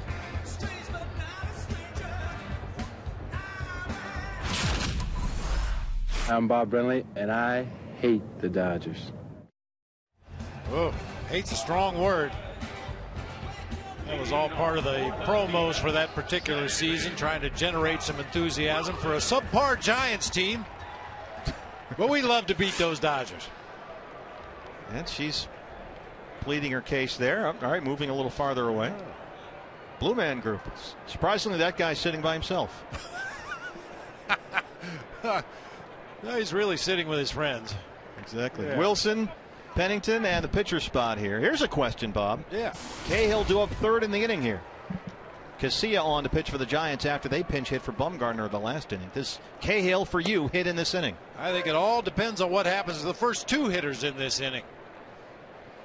Obviously, his pitch count is in great shape. Uh, and despite that leadoff walk in the seventh, he settled right back in. I think uh, if you get a chance to leave him in the game, Kirk Gibson would like to. He's retired, Trevor Cahill. 14 of the last 15 he's faced. One and one to Wilson now against Santiago Casilla. One and two. Josh 0 for 2, grounded out in the third, flied out in the fifth. Only two runners have reached third base the entire game. Scutaro for the Giants, Prado for the D backs, both in the fourth. Other than that, it's been all Cahill and Bumgarner here.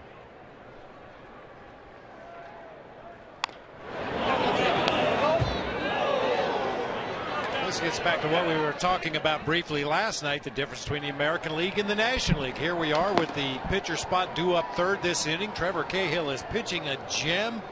His pitch count is very, very reasonable at this point. But Kirk Gibson's going to have to make a tough decision here depending on what happens with these first two hitters here in the eighth. In the American League, this is no doubt, or Trevor Cahill's going to go back out there. Well, in the American League, he, oh, you mean on the mound? Yeah, yeah. yeah. See? But the situation dictates oftentimes. I mean, it, what's to think about? He's cruising along. There's a DH.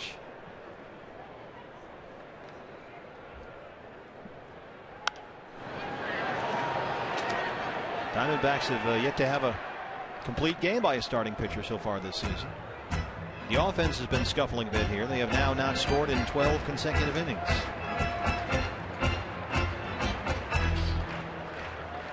Gesundheit.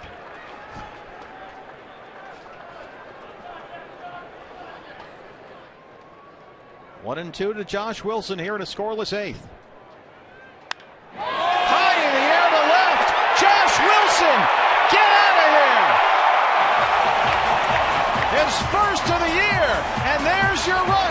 Cahill. Diamondbacks lead it 1 0.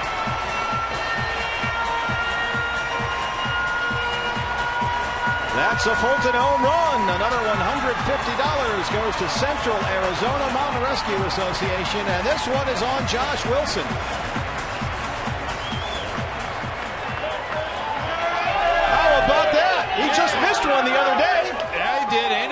Anybody but Bumgarner. Santiago Casilla had not surrendered a home run yet this season. He'd held the opposition to a very low 175 batting average, but Josh Wilson flexing his muscles puts the D backs on the board. Here's Cliff Pennington. Does that change what you do with Cahill, who right now is out on deck? He's out on deck. He's going right. to take the at bat and he's going to take the ball in the top half of the ninth. Charles Nagy calling down to the bullpen, telling everybody to put it in neutral. That was a no doubter by Josh oh, there. That was a blast.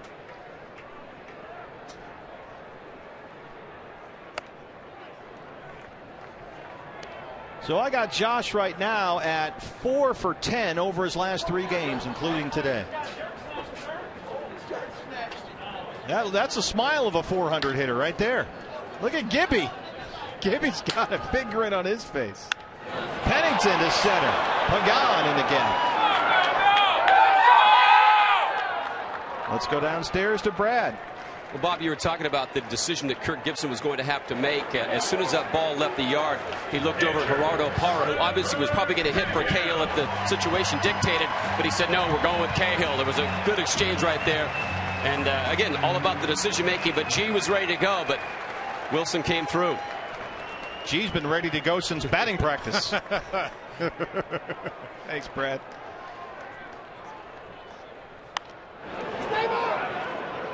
Cahill had a sacrifice bunt in the third, lined out back in the fifth.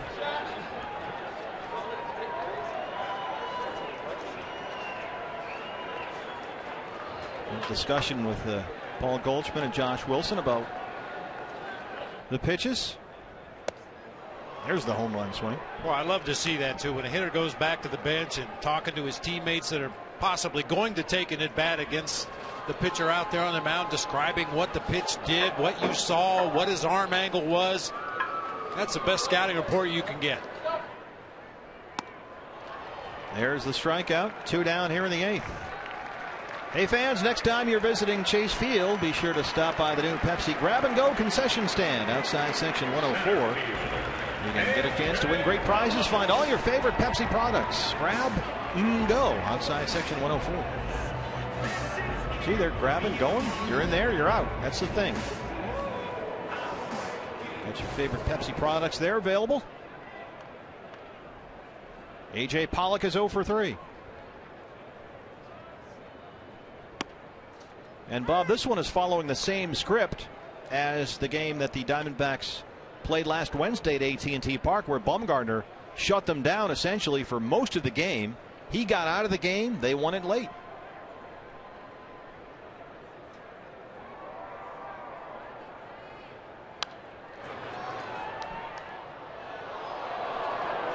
It doesn't always work out this way, but it's such a, an emotional lift when you get a pitcher that's dealing out of the ball game.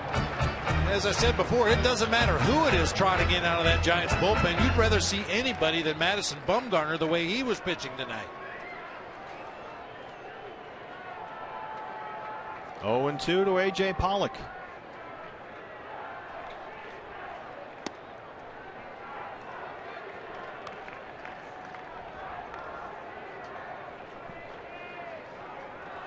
AJ four for his last 27.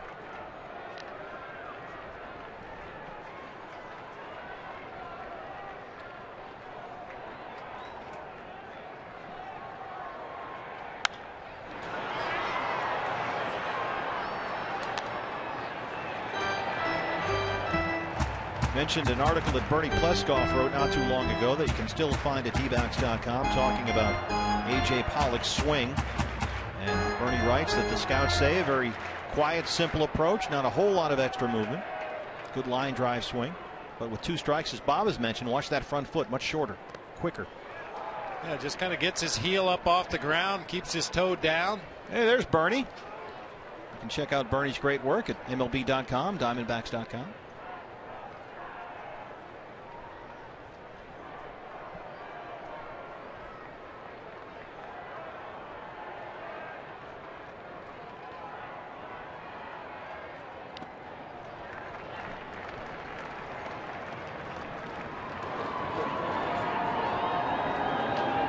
had Josh Wilson in the pool.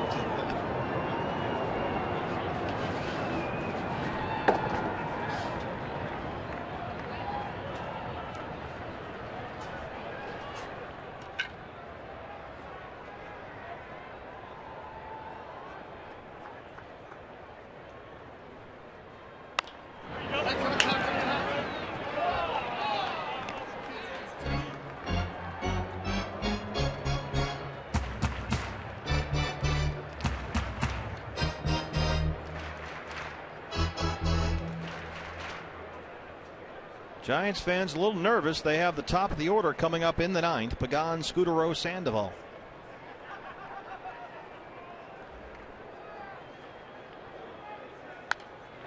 Look out, Brenly. Oh, we're good. Right at Greg Schulte. Is the governor in one piece. He didn't even make a play on that ball. I mean, that was right off the facing there. Full count again, three and two. Yeah. Leo Gilmartin standing watch back there over Greg and Candy. Leo runs the show up here. Governor's a veteran. I mean, he didn't even flinch. No. Yeah.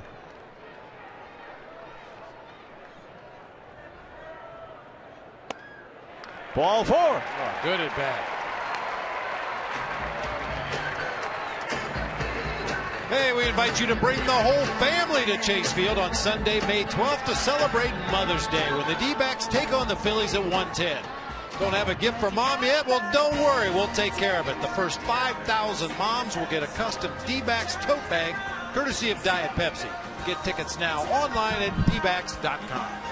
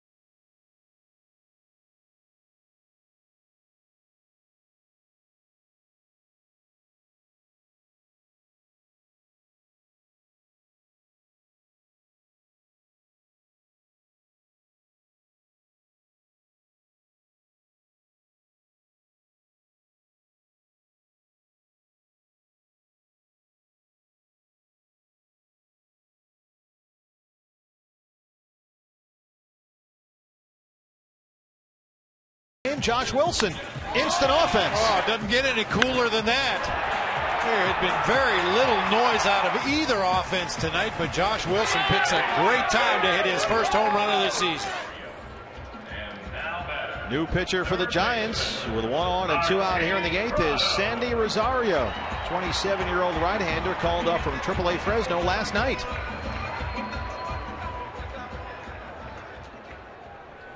Nine games with Fresno at 3.29 ERA, one save and 17 strikeouts in 13 and two third.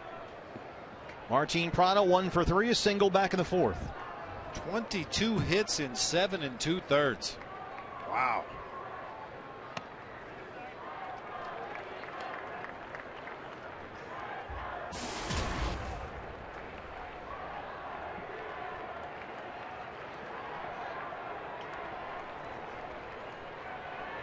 Martin on the homestand, four for 21.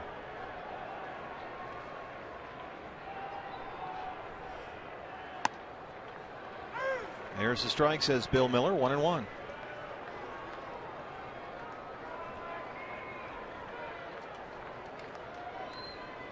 Martin looked good at the plate here last night, two for five, a single and a home run, his fourth of the year.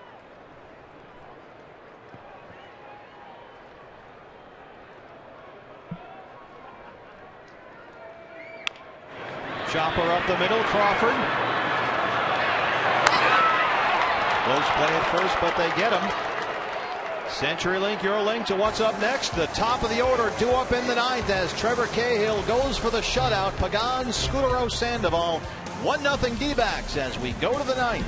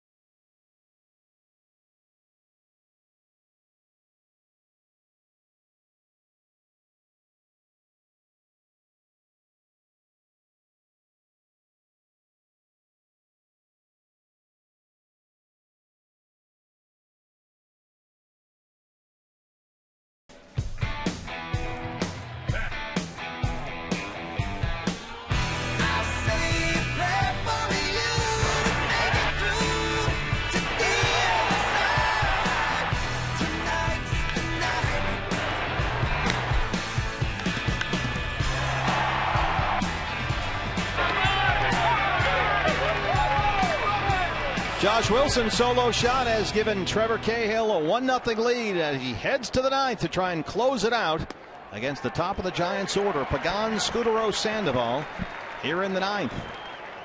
Trevor Cahill at 83 pitches. That is efficiency. 59 for strikes. Pagan single back in the first. One of only three Giants hits against Cahill so far. Trevor coming off a six pitch eighth inning. He has retired 14 of the last 15 he's faced.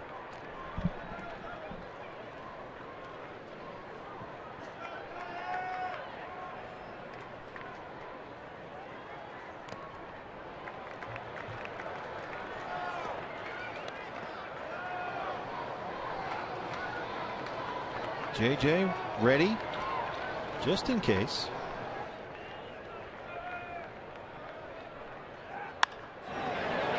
Left hand side, that'll get out of play.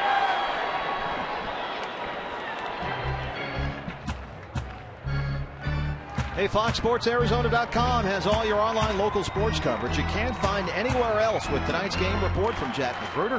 That is being a Diamondback compared to being a rodeo clown. Cody Ross tells Cindy Brunson that. The extended interview is all online. Much more in an extended spot on FoxSportsArizona.com.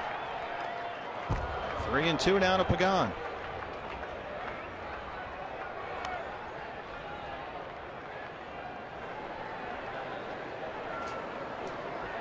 Pagan 0 for 5 last night, 1 for 3 tonight. Little two-man game of keep away here. Three pitches that Cahill has thrown, and this at bat have reached the backstop.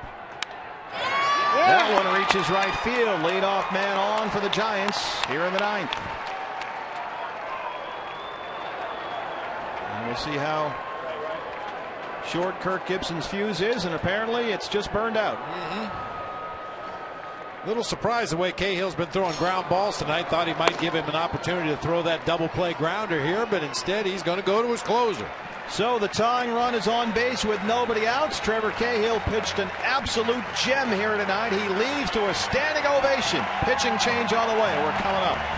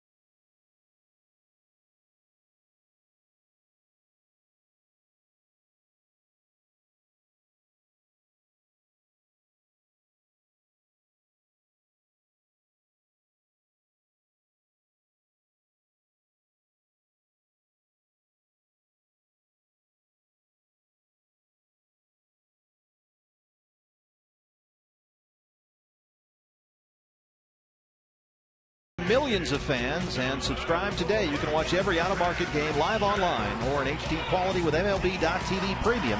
Visit MLB.tv today. It's baseball everywhere. Trevor Cahill responsible for the tying run on base with no outs here in the ninth inning and on for the Diamondbacks. JJ Putz. JJ closed out the series finale against the Rockies for his fifth save of the year. Marco Scutaro, one for three, singled back in the fourth. Pagan with good speed.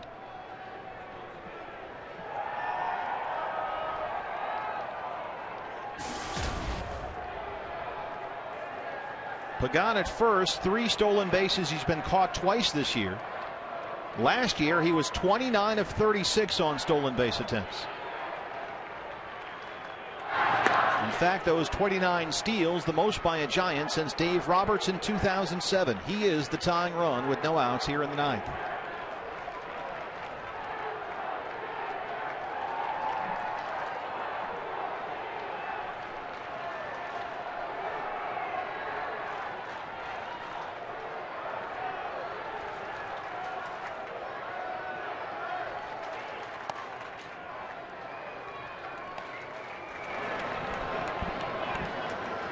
Base coach Tim Flannery with a long look into his skipper Bruce Bochy goes through a set of signs.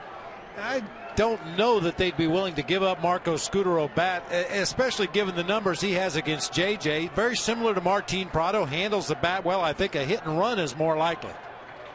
Excellent contact hitter, almost never strikes out. Pagan holds it first. There's a strike, one and one.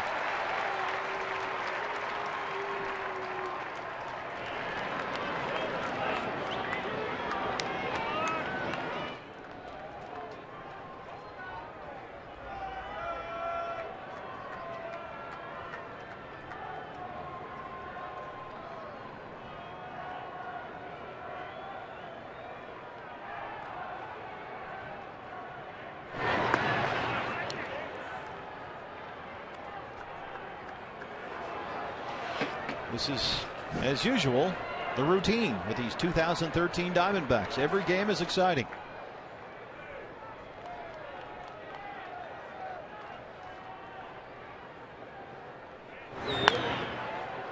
Quick move by JJ, but Pagan is back.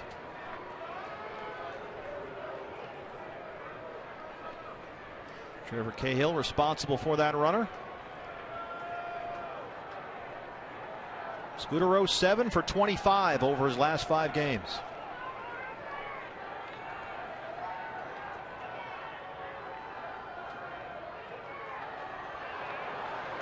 Just a slight flinch over there by Pagan at first base. Part of the reason Gibby likes to have his pitchers hold that ball out there on the mound, occasionally that runner will start leaning ever so slightly towards second base, a tip off that he might be running on that pitch.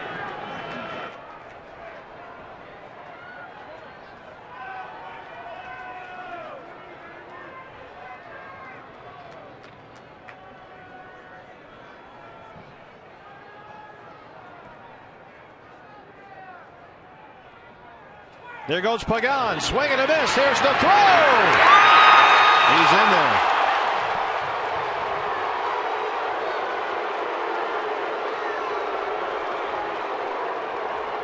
Fourth stolen base this season for Angel Pagan. Tying run in scoring position now.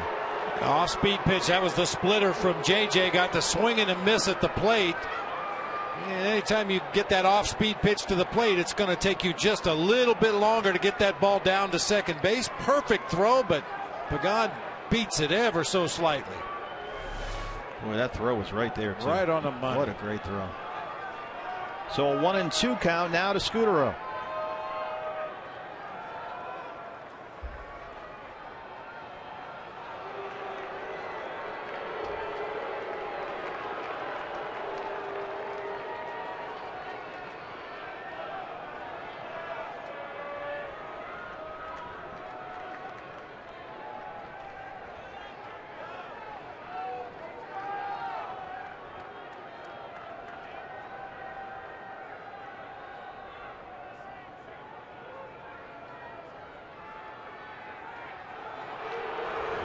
Pagan getting happy feet back there.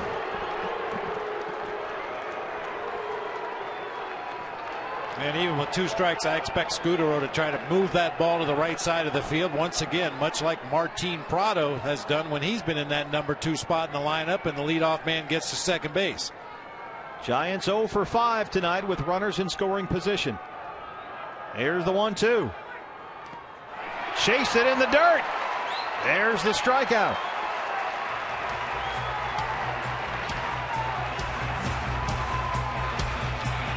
nasty, nasty splitter that time in the dirt. 10th strikeout this season for Marco Scutaro. We've seen two of them.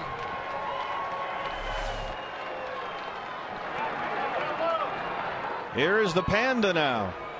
He is one for three, single back in the fourth.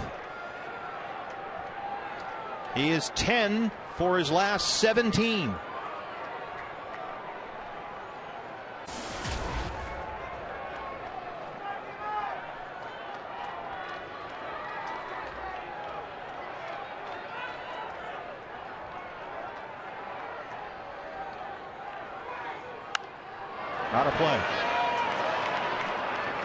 Sandoval has hit safely in 20 of 26 games this year. And with runners in scoring position, he usually finds a way more often than not to drive them in. And that's why strike one is so important against Sandoval. You can expand the zone now, and with JJ, that usually means splitters in the dirt. So you can get him to chase a couple. Do you worry about that pitch getting away from Miggy with a tying run in scoring position. Uh, it's always a concern, but uh, when Miggy knows it's coming, he usually gets in pretty good blocking position, keeps it from getting through.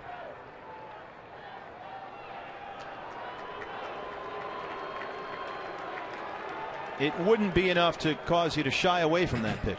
Well, it shouldn't be because uh, if you shy away from that pitch because you're afraid it's going to go in the dirt, throw a fastball, this guy might uh, give yeah. the Giants a lead in a hurry.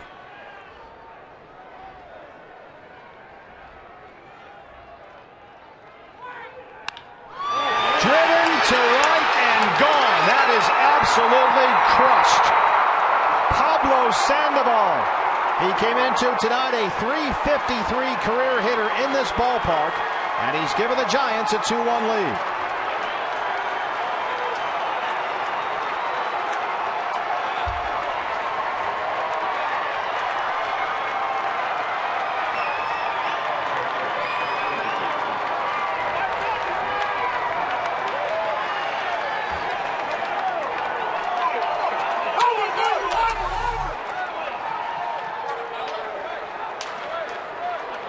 that was a splitter, but it just fluttered up there in the middle of the plate. Didn't take any kind of downward movement at all. Sandoval knew it the moment he touched it off. Here's Buster Posey with a 10 game hit streak on the line. He's 0 for 2 with a walk and a strikeout. The Panda power.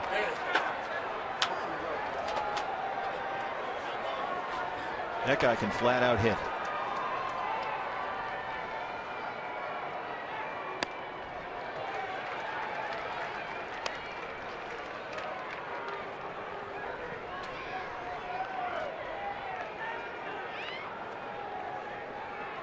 Well, that really stinks for Trevor Cahill. What a night he had, all for naught. Walks away with a no decision.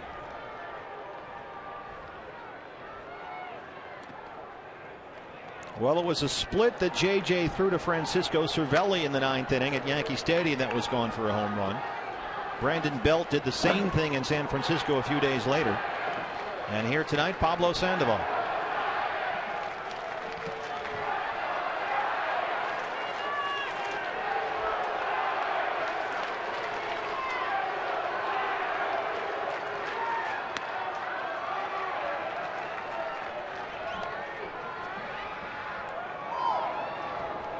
Sergio Romo looms.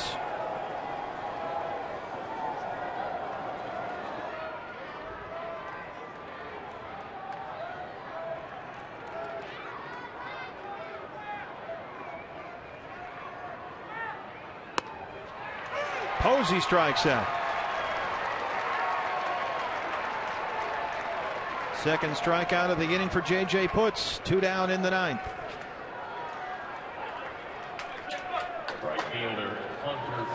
It's always easier said than done. I've mentioned it before when we played the Giants at AT&T Park last week. You don't have to throw him a strike to get him out, but he'll still get his base hits. He's a tremendous bad ball hitter, and when you make a mistake in the strike zone, he can hit it like he did tonight. Hunter Pence 0 for 3, struck out his last time up.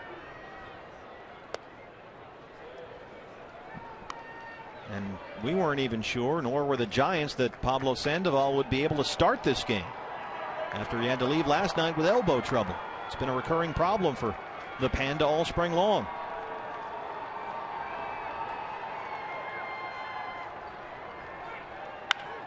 Base hit.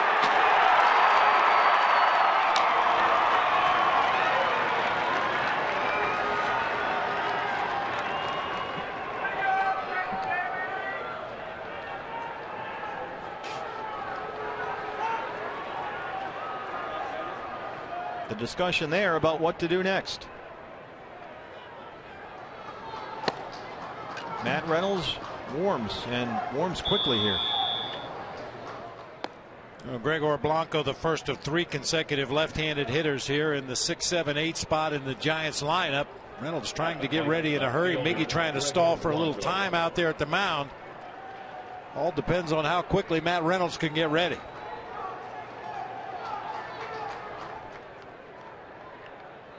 Gibby looking for a sign from Miguel Montero here as to where we are in the progress, and Blanco will step in. Now, Kirk Gibson's going to come out and go to the left-hander. So J.J. Putz exits here with two outs in the ninth.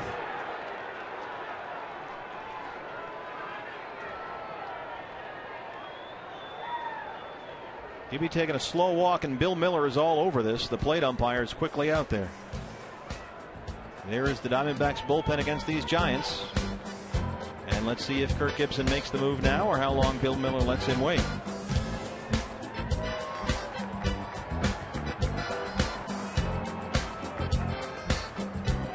Uh, Gibby learned this particular strategy from Tommy Lasorda, who is the master of stalling for time out there, engaging the plate umpire in a discussion.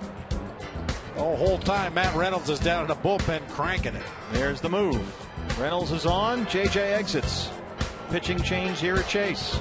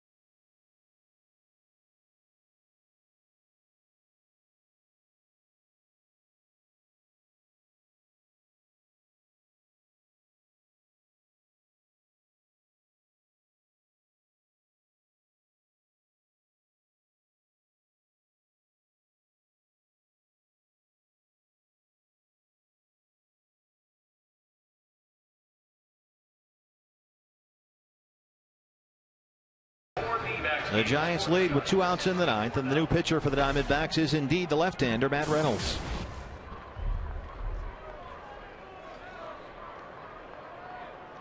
Great numbers for Reynolds this season. He's been an unexpected surprise out of that Diamondbacks bullpen. Hunter Pence on first. Gregor Blanco, the hitter, he's 0 for 3. He has struck out and hit into a double play.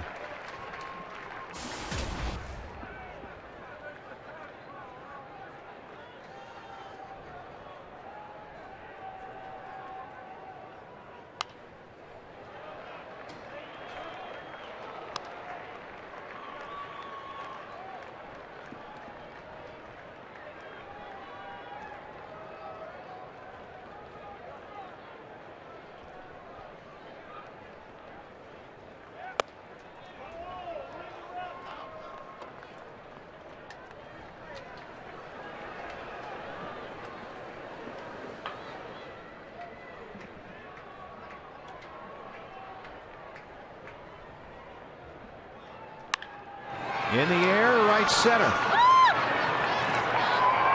Pollock is under it. And that's the inning. Paul Goldschmidt, Cody Ross, and Miguel Montero, bottom nine. Diamondbacks need at least one.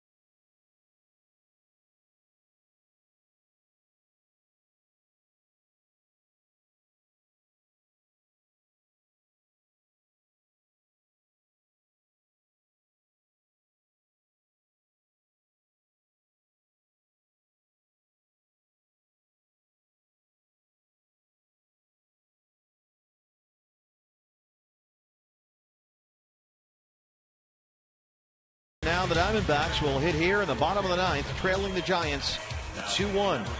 Sergio Romo is on. He earned his ninth save here last night. He is now 9 for 10 this year. And he has a 25 game scoreless streak against the Diamondbacks. New third baseman for the Giants, Joaquin Arias, fills in for Pablo Sandoval. Goldschmidt, Ross, Montero, 3, 4, and 5 here in the ninth. Paul Goldschmidt, 0 for 3, is flying out three times.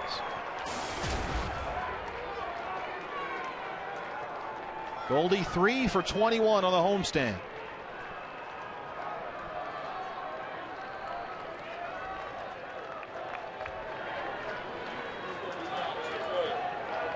And plenty of left-handed pinch hit bats on the bench if needed.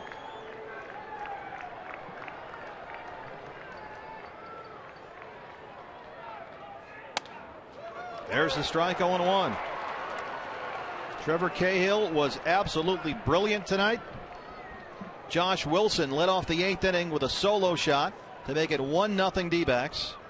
But the Giants have struck for two in the ninth. A two run shot by Pablo Sandoval. That off J.J. Putz, who came in for Cahill. After Pagan led off the ninth with a single against Trevor. And now the D Diamondbacks need to scratch and get one back here in the bottom of the ninth. Goldschmidt down 0 2.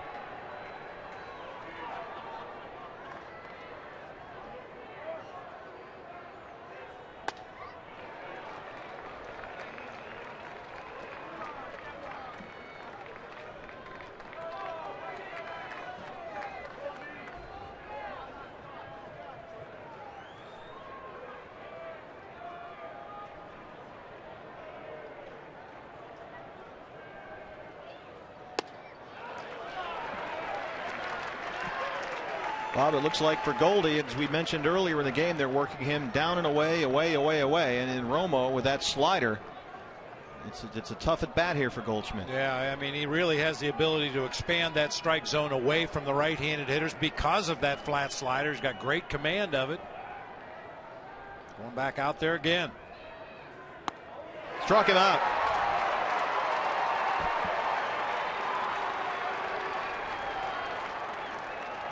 I've seen that happen a couple of times to Goldie in the last few games. Just freezes on that two strike fastball. Probably thinking just like we were that Romo's not going to throw him anything to hit. It's going to be something a breaking ball off the outside corner and Romo sneaks that fastball right over the heart of the plate. He struck out Miguel Cabrera with that exact same pitch to end the World Series. Here's Cody Ross 0 for 2 with a walk.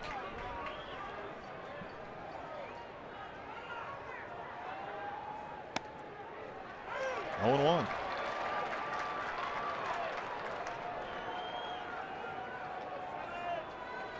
Cody, of course, has a flair for the dramatic, several dramatic moments and home runs in Boston last year. Six of his homers either tied the game or gave the Red Sox the lead after the sixth inning.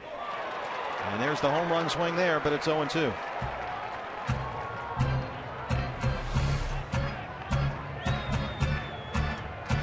Romo will throw that slider at varying speeds, varying arm angles. Sometimes it's very flat, other times it has some downward movement. He'll change speeds on it. Here comes another one.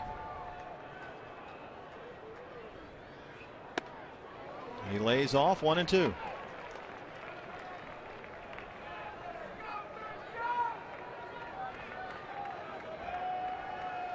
Sergio Romo unscored upon in 12 of his 14 appearances this year. I was just going to say lately, Cody Ross, uh, with two strikes, has hit the ball to the opposite field pretty consistently, and that's where the Giants are working him away. Straight up in the air. Crawford. Two down. It's up to Miguel Montero.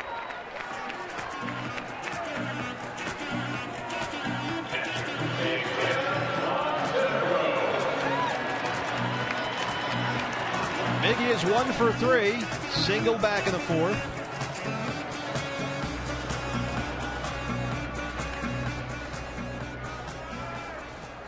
He is four for 17 on the homestand. Including tonight, he's hit in six of the last eight games.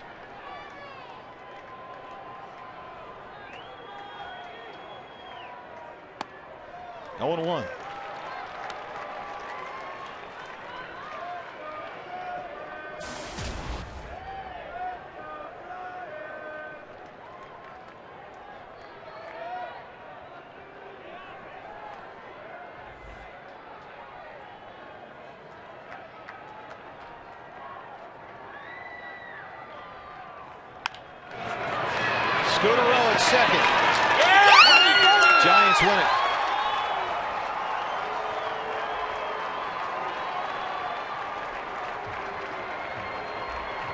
Giants steal one here, 2-1. They beat the Diamondbacks, Arizona and San Francisco, now identical in the National League West at 15 and 12. And Bob, this one hurt. Yeah, this one stung badly. I mean, Trevor Cahill couldn't have done much more than he did tonight. Unfortunately, J.J. Putz just wasn't up to the task tonight.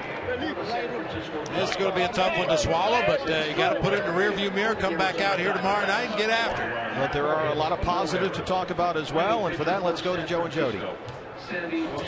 Yeah, thanks, guys. What started out